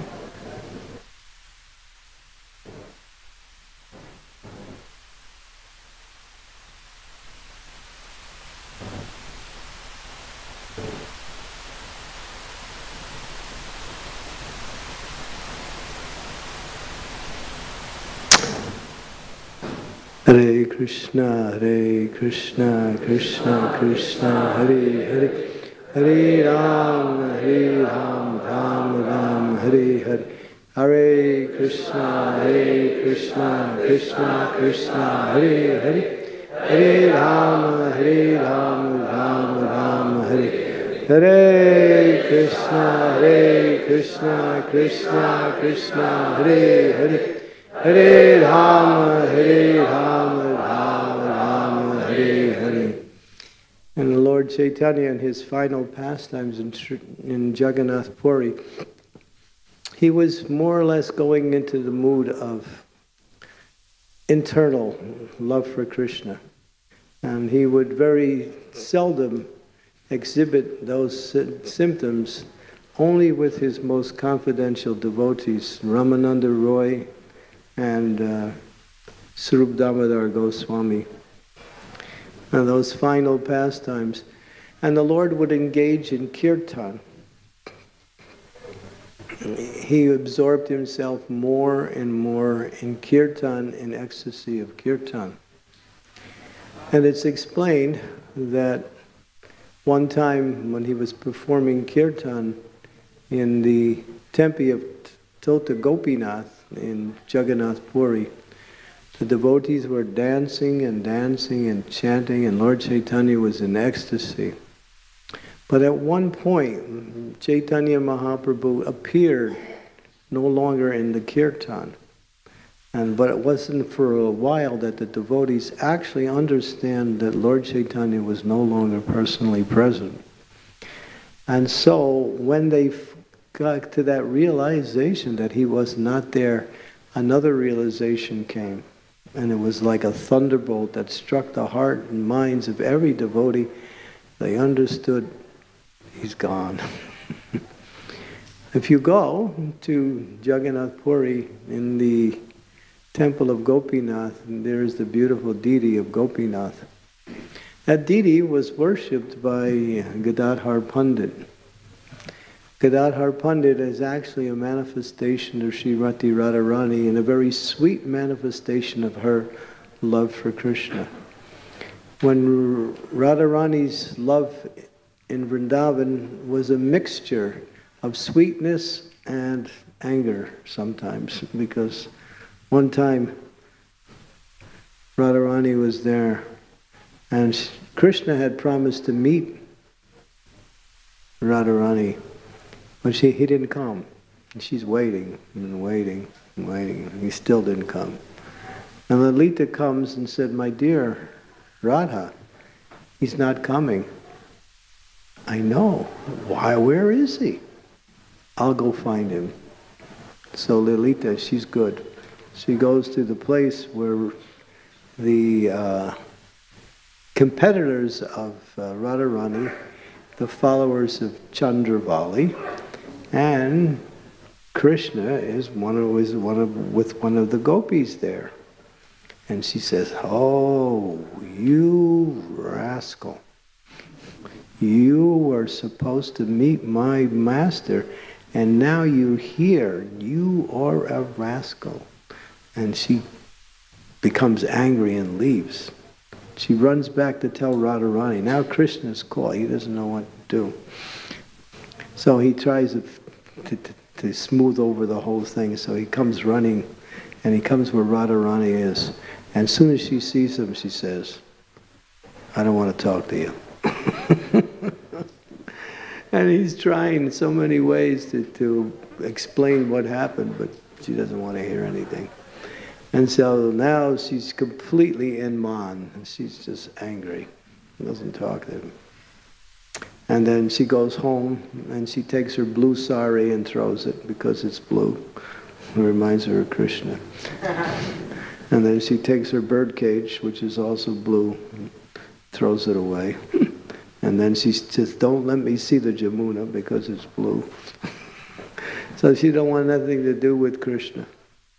And now Krishna's thinking, what am I going to do? Radharani's so angry with me. And uh, so he's trying to, so he, and she's not changing. She's, she's fixed. she's in her maan and it's not changing. So Krishna goes to Vrinda Devi because Vrinda Devi, she's the CEO under the command of Purnamasi. Purnamasi is Yogamaya. And she's in charge of all of the leelas, and, when, and she makes all of the leelas happen by her mystic power, her yoga maya potency. And uh, Vrinda Devi is her assistant. So Krishna goes to Vrinda Devi and said, you got to help me. I got to get back with Radharani. Hmm, yeah, it's a problem. What to do? Hmm. Well, let me think of something. Oh, all right, I have an idea you know, um, Radharani's been quite sad lately. So I, you should dress up as a fortune teller and go to Radharani and, and uh, come and say you would like to uh, give her some uh, guidance in her sadness. You are an expert fortune teller, okay. And so they dress Krishna up as a gopi, and he looks, you know, he looks quite feminine because he's beautiful. and so he goes. And so he's there, and Radharani's there with some of her gopi friends, and oh, who's this new gopi? We never saw her before. And oh, so I'm an astrologer. I heard about Radharani's unhappiness. I've come to find out where her good fortune lies. Oh, okay. And so she goes to Radharani, he goes to Radharani in the form of she. and he starts taking, he starts uh, looking at the bottom of her feet to tell her, you know. And he says, Well, actually, hmm, I understand the situation. And your good fortune lies in forgiving Krishna and taking him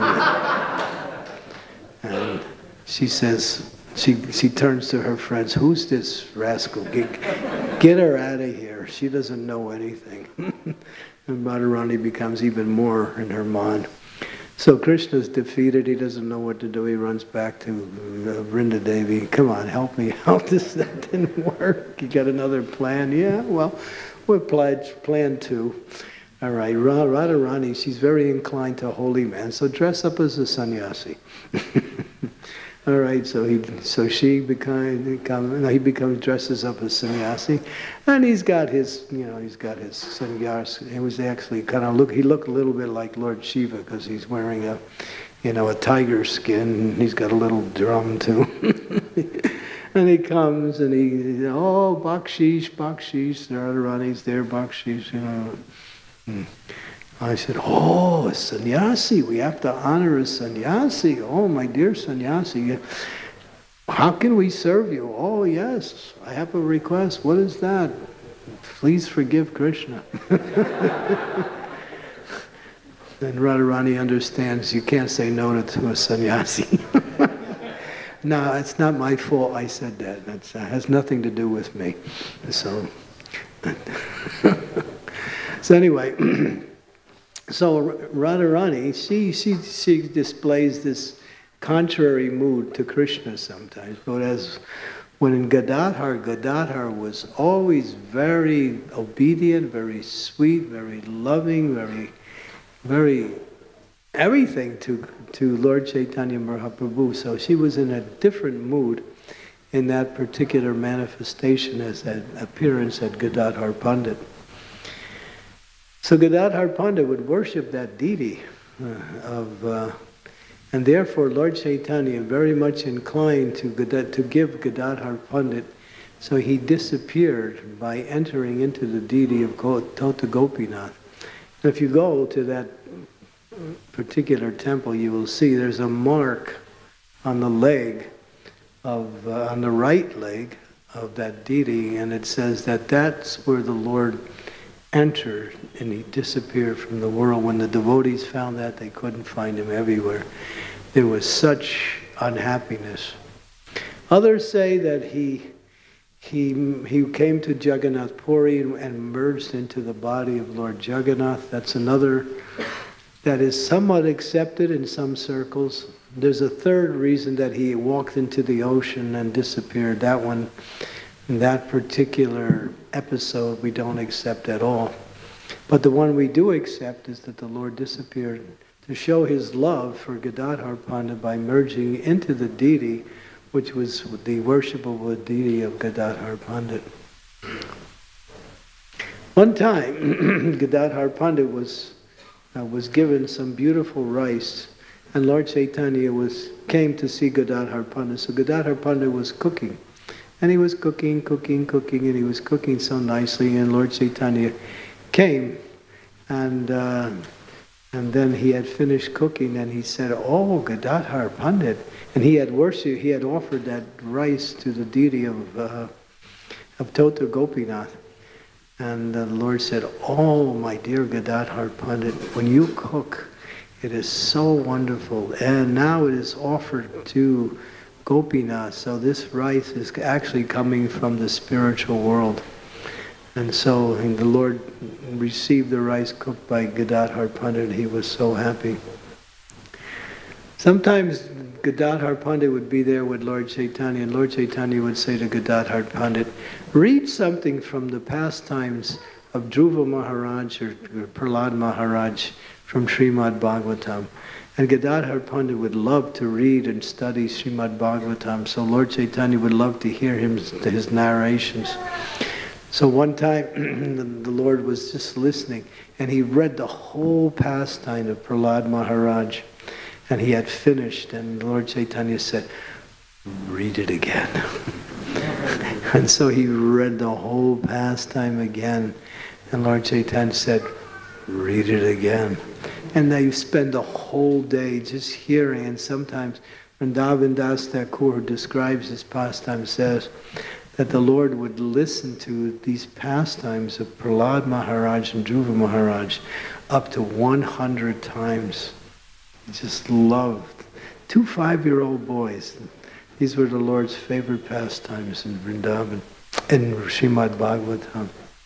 And being read by the, the lotus lips of Gadadhar Pandit was so sweet. So they would, he would spend much time with Gadadhar Pandit. There are so many wonderful stories of the Lord's pastimes. To hear the glories of the Lord, to chant the glories of the Lord, to remember the glories of the Lord is the perfection of Krishna consciousness. Hearing leads to chanting, chanting leads to remembering, and remembering is the perfection of Krishna consciousness. Sometimes we say, well, I don't have a taste for hearing. How do I get a taste for hearing? Srimad Bhagavatam explains how to develop that taste. Shushrusha Sadadanasya Vasudeva Kata Ruchi Shanmayat Seva Vipa Purnya Tirtana Seva Nat. By serving great souls, great service is done. And by such service, one gets an affinity to hear the message of Vasudeva.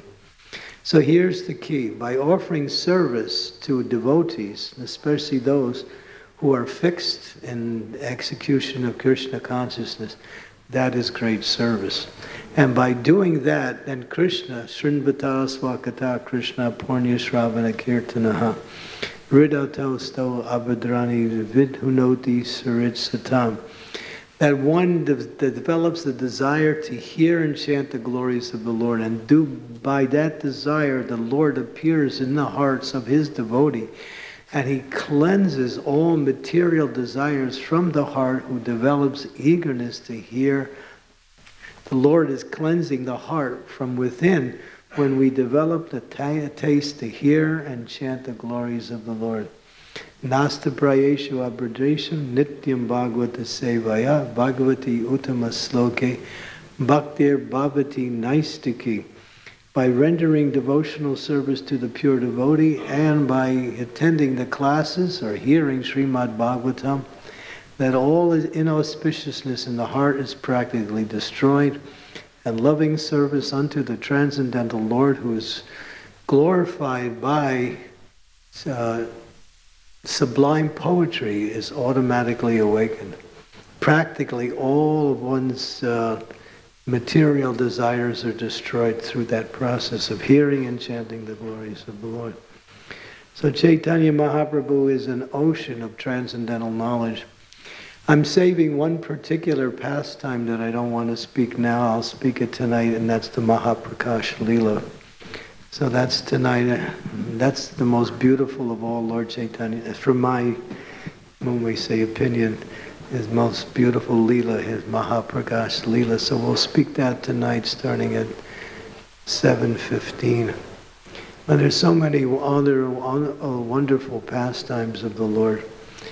I can go back and mention how, you know, Advaitacharya was never happy that Lord Chaitanya was seeing him as seen as always worship him. And so Lord the Dvaitacharya was thinking, what can I do to get the Lord to worship me? He's always honoring me as a superior, and this is this is becoming very disturbing. I cannot accept it. I want to, I'm his servant, and he's treating me as you know, as his master. So Advaita did something really heavy. he was, uh, he, he went out and started to hear Yoga Vashishta, which is talks about karma and gyan is superior to bhakti. And he was hearing from people who were preaching that. It's somewhat Mayavad. And then the word got back to Lord Chaitanya, this is what Advaita is doing. the Advaita, Lord Chaitanya is thinking, what is Advaita doing? He knows why I've come. Lord Chaitanya, he is he became quite angry. but he controlled his anger. Then one day he said to Lord Nityananda, Advaita was at Shantipur at the time. and he said to Lord Nityananda, let's go visit Advaita. All right, so they took the road along the Ganges, going from Navadvip towards Shantipur. And they were walking along and they were on their way, they were singing together, and then they passed this little hermitage. And uh, Lord Chaitanya said, Oh, who lives there? And Lord Nityananda said, There's a sannyasi, he lives there. Oh, really? Let's go get his blessings. Okay. So they went inside, and the sannyasi was there. He was elderly. And they sat down, and then the, they said to the sannyasi, uh, Can you, my dear sannyasi, can you tell us the goal of life? you know, you're supposed to inquire. so the sannyasi said, Yes. Thank you for asking. Good question. goal of life is to eat, drink, be merry, and enjoy. and Lord Chaitanya said, actually, the goal of life is to worship Krishna in devotion. and the sannyasi got a little disturbed. He said, just see, here we are, senior in all respects, and these, these young babes who are just coming out of the womb of their mother, and they're telling us what is the goal of life. And so now, when that started, and then Lord Chaitanya started to respond again, and Nityananda said, No, no, no, no, let's not fight. he said, Let's have some prasadam. And the sannyasi said, Yes, actually, prasadam is just ready now. So the sannyasi calls his wife. He was a grihasta sannyasi.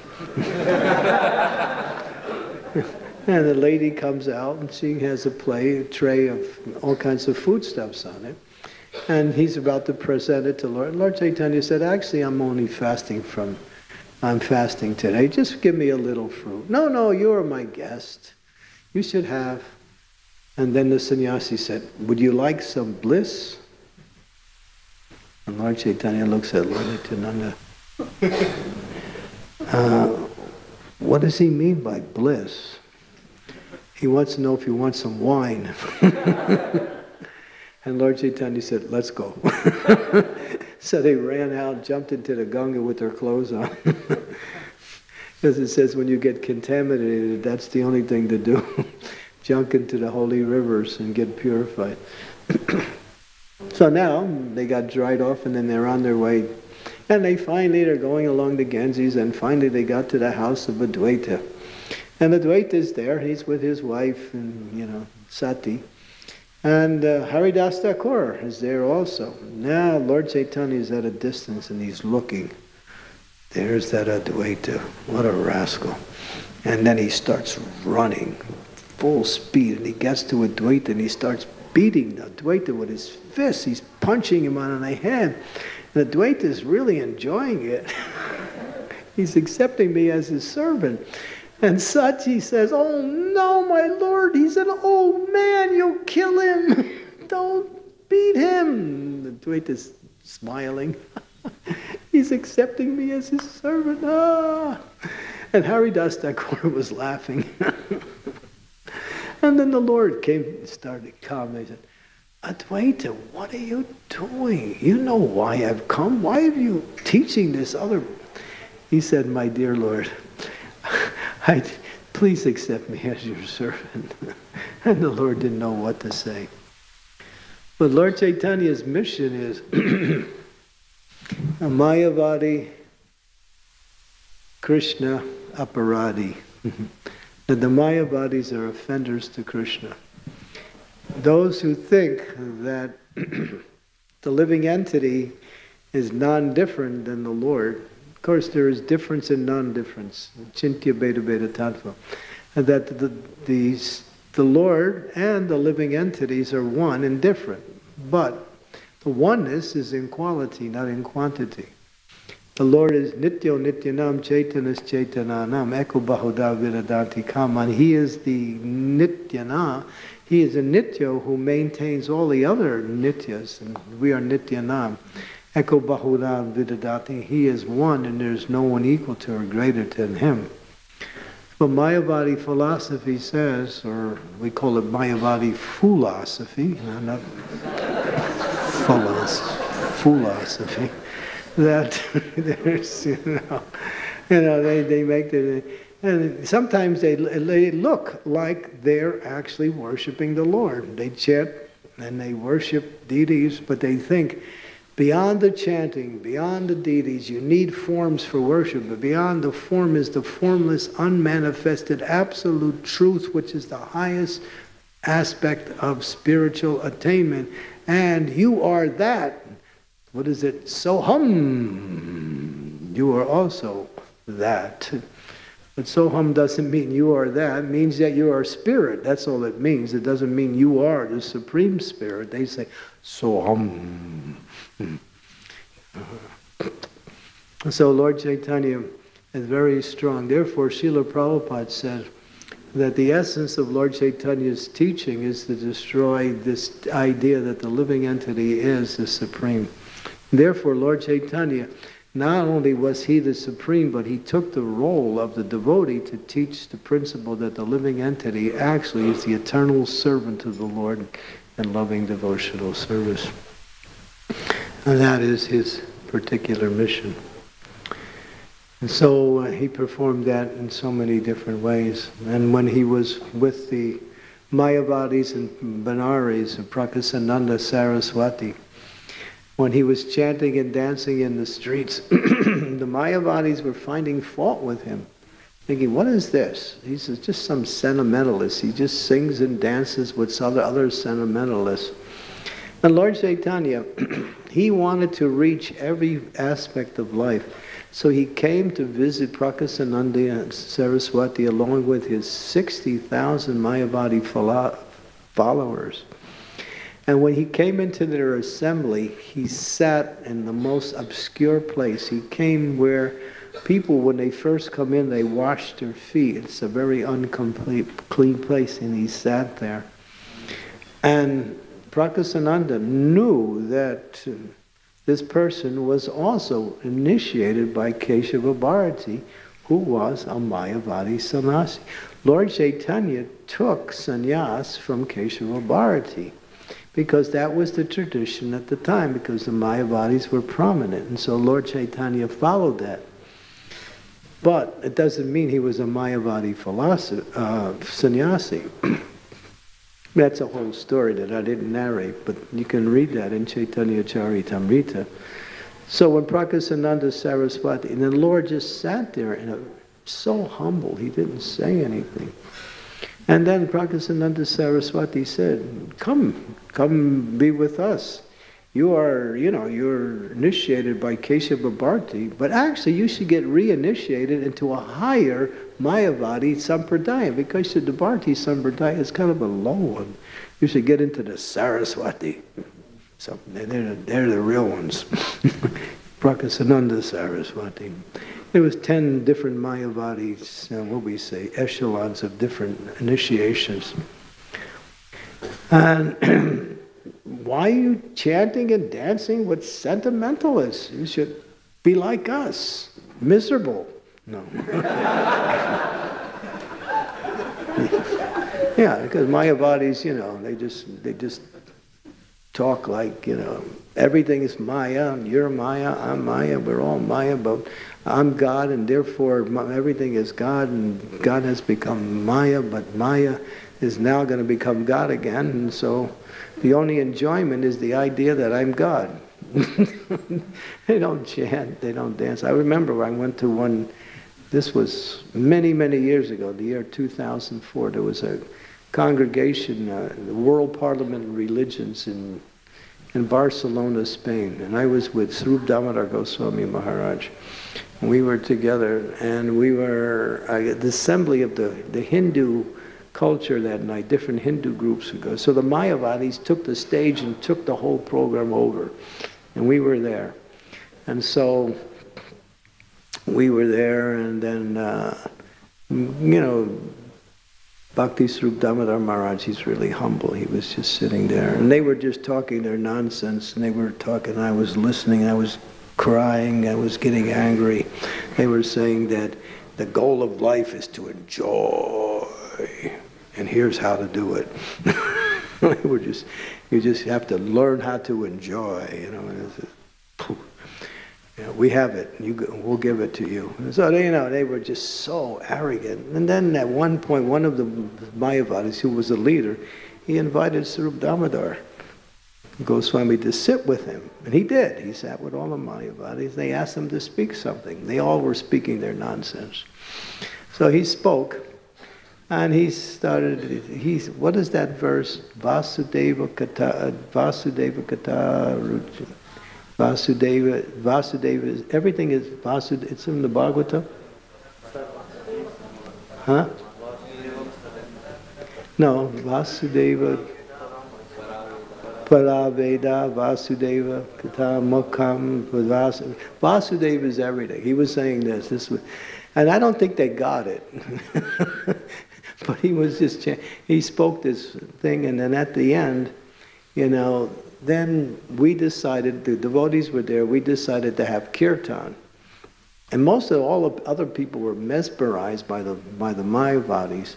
They had come, they didn't know what to expect. And so we just had kirtan. As soon as we had kirtan, all the Mayavadis got up and left. They didn't. And all the people who were there, they stayed and started to dance. And, and it's the first time during that whole night everybody was happy. you know, listen to these Mayavadis, you're just like, oh, God, it doesn't make any sense. It doesn't, they don't give you anything. And one senior devotee told me, Mayavadi means miserable.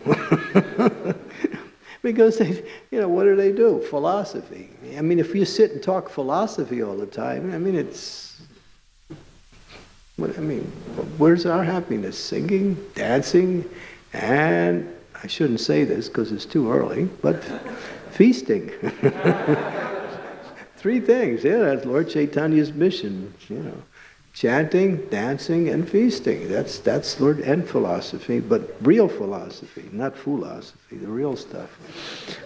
What is that philosophy that uh, Jiva Sarupai Krishnera Nityadas, and that we are eternal servants of Krishna, and the happiness that the, the servant experience in serving the Supreme Lord is greater than the happiness that the Lord gets by, by accepting the service of his.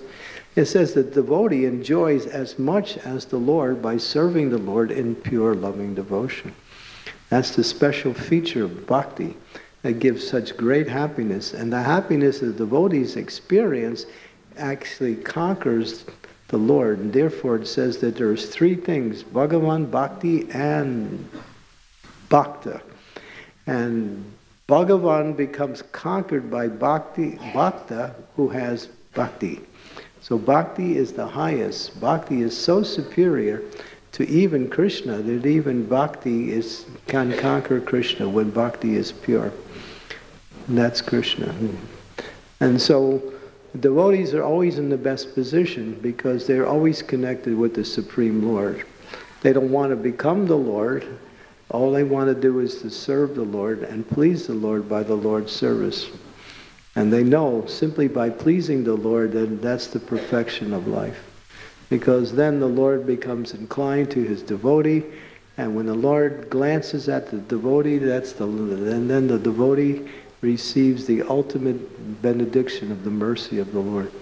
If you get recognized by the Lord just once in your life, then your life is perfect. What is that recognition? Lord Chaitanya taught three main principles. Namruchi, Vaishnav Seva, Jiva Doya. Jiva Doya means to somehow give the mercy that you have received to those who are unfortunate, uh, those who don't have that mercy.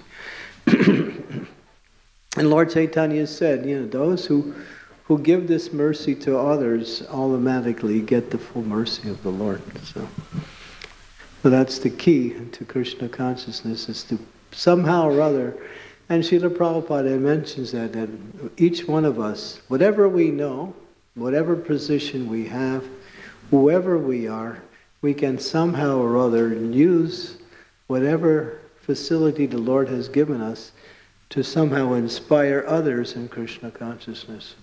Can be done from any position. And those who make that a focus in their life actually uh, are noticed by the Lord. Prabhupada said, if you are noticed by the Lord, then your life is perfect.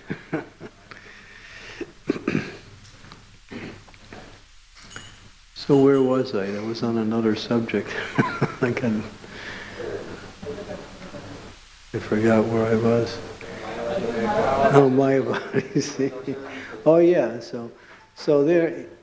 Um, so Prakasananda Saraswati was trying to encourage Lord Chaitanya, you know, to you know be like us, discuss philosophy. And Lord Chaitanya said, My spiritual master told me I was a fool. I should just chant Hare Krishna, that's all. and then he, he, took the humble position and he explained, and but he, what attracted the, the Mayavadis was he was so effulgent. His effulgence permeated the whole room, and they could see that.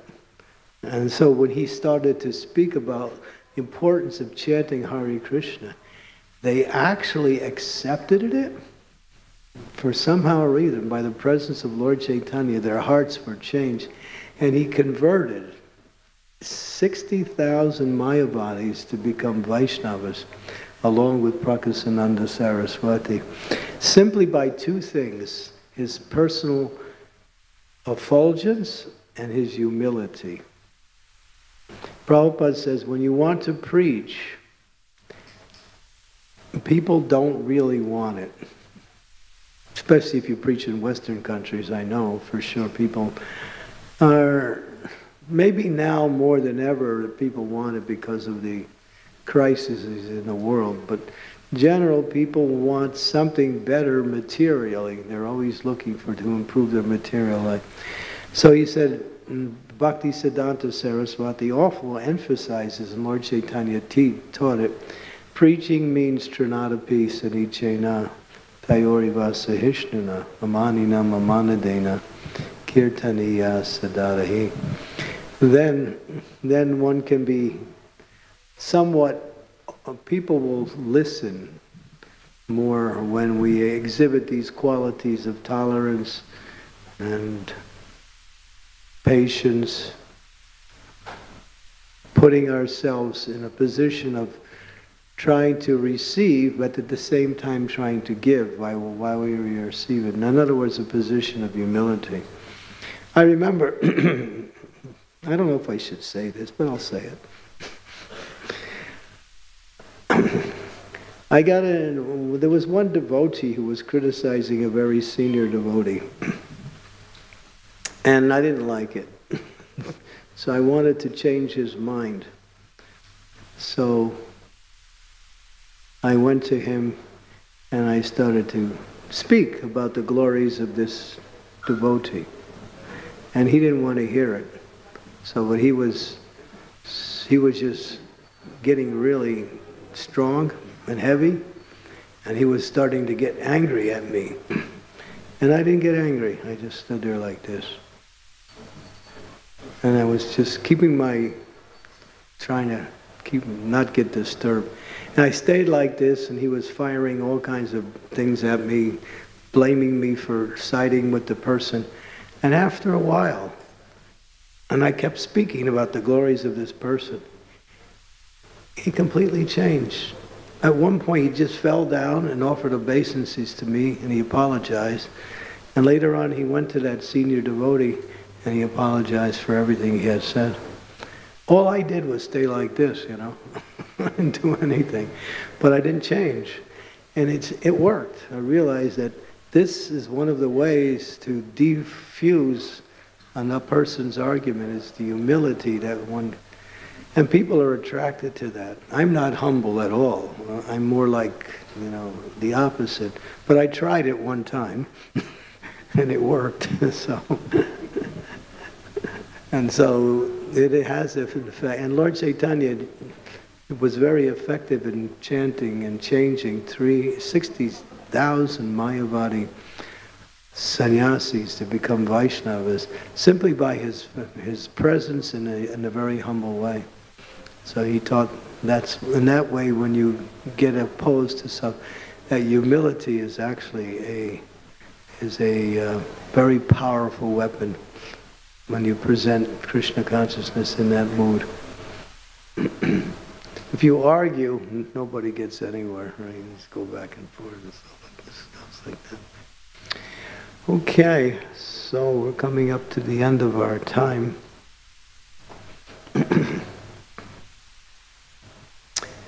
So, Sri Krishna Chaitanya Prabhu Nityananda Sri Advaita Gadadhar Srivasadi Gaur Bhaktavrinda हरे कृष्णा हरे कृष्णा कृष्णा कृष्णा, हरे हरे। हरे राम हरे राम राम राम, हरे। श्री चैतन्य महाप्रभु की जय। श्री गौर पूर्णिमा की जय। श्री महामहोत्सव, श्री आविर्भाव, श्री चैतन्य महाप्रभु की जय। गौर प्रेमानंदे श्री प्रभुपाद की जय। हरे Krishna.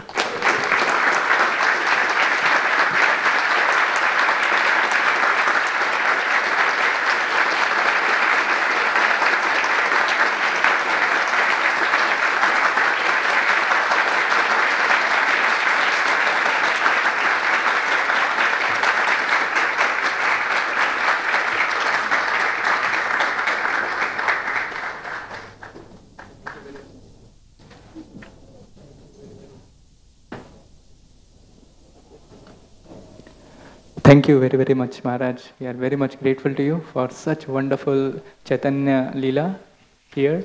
All devotees got absorbed in hearing such a beautiful, enlightening class. Maharaj, we are very much grateful and again we are eager to hear in evening. So let's express our gratitude to Maharaj by loudly chanting three times.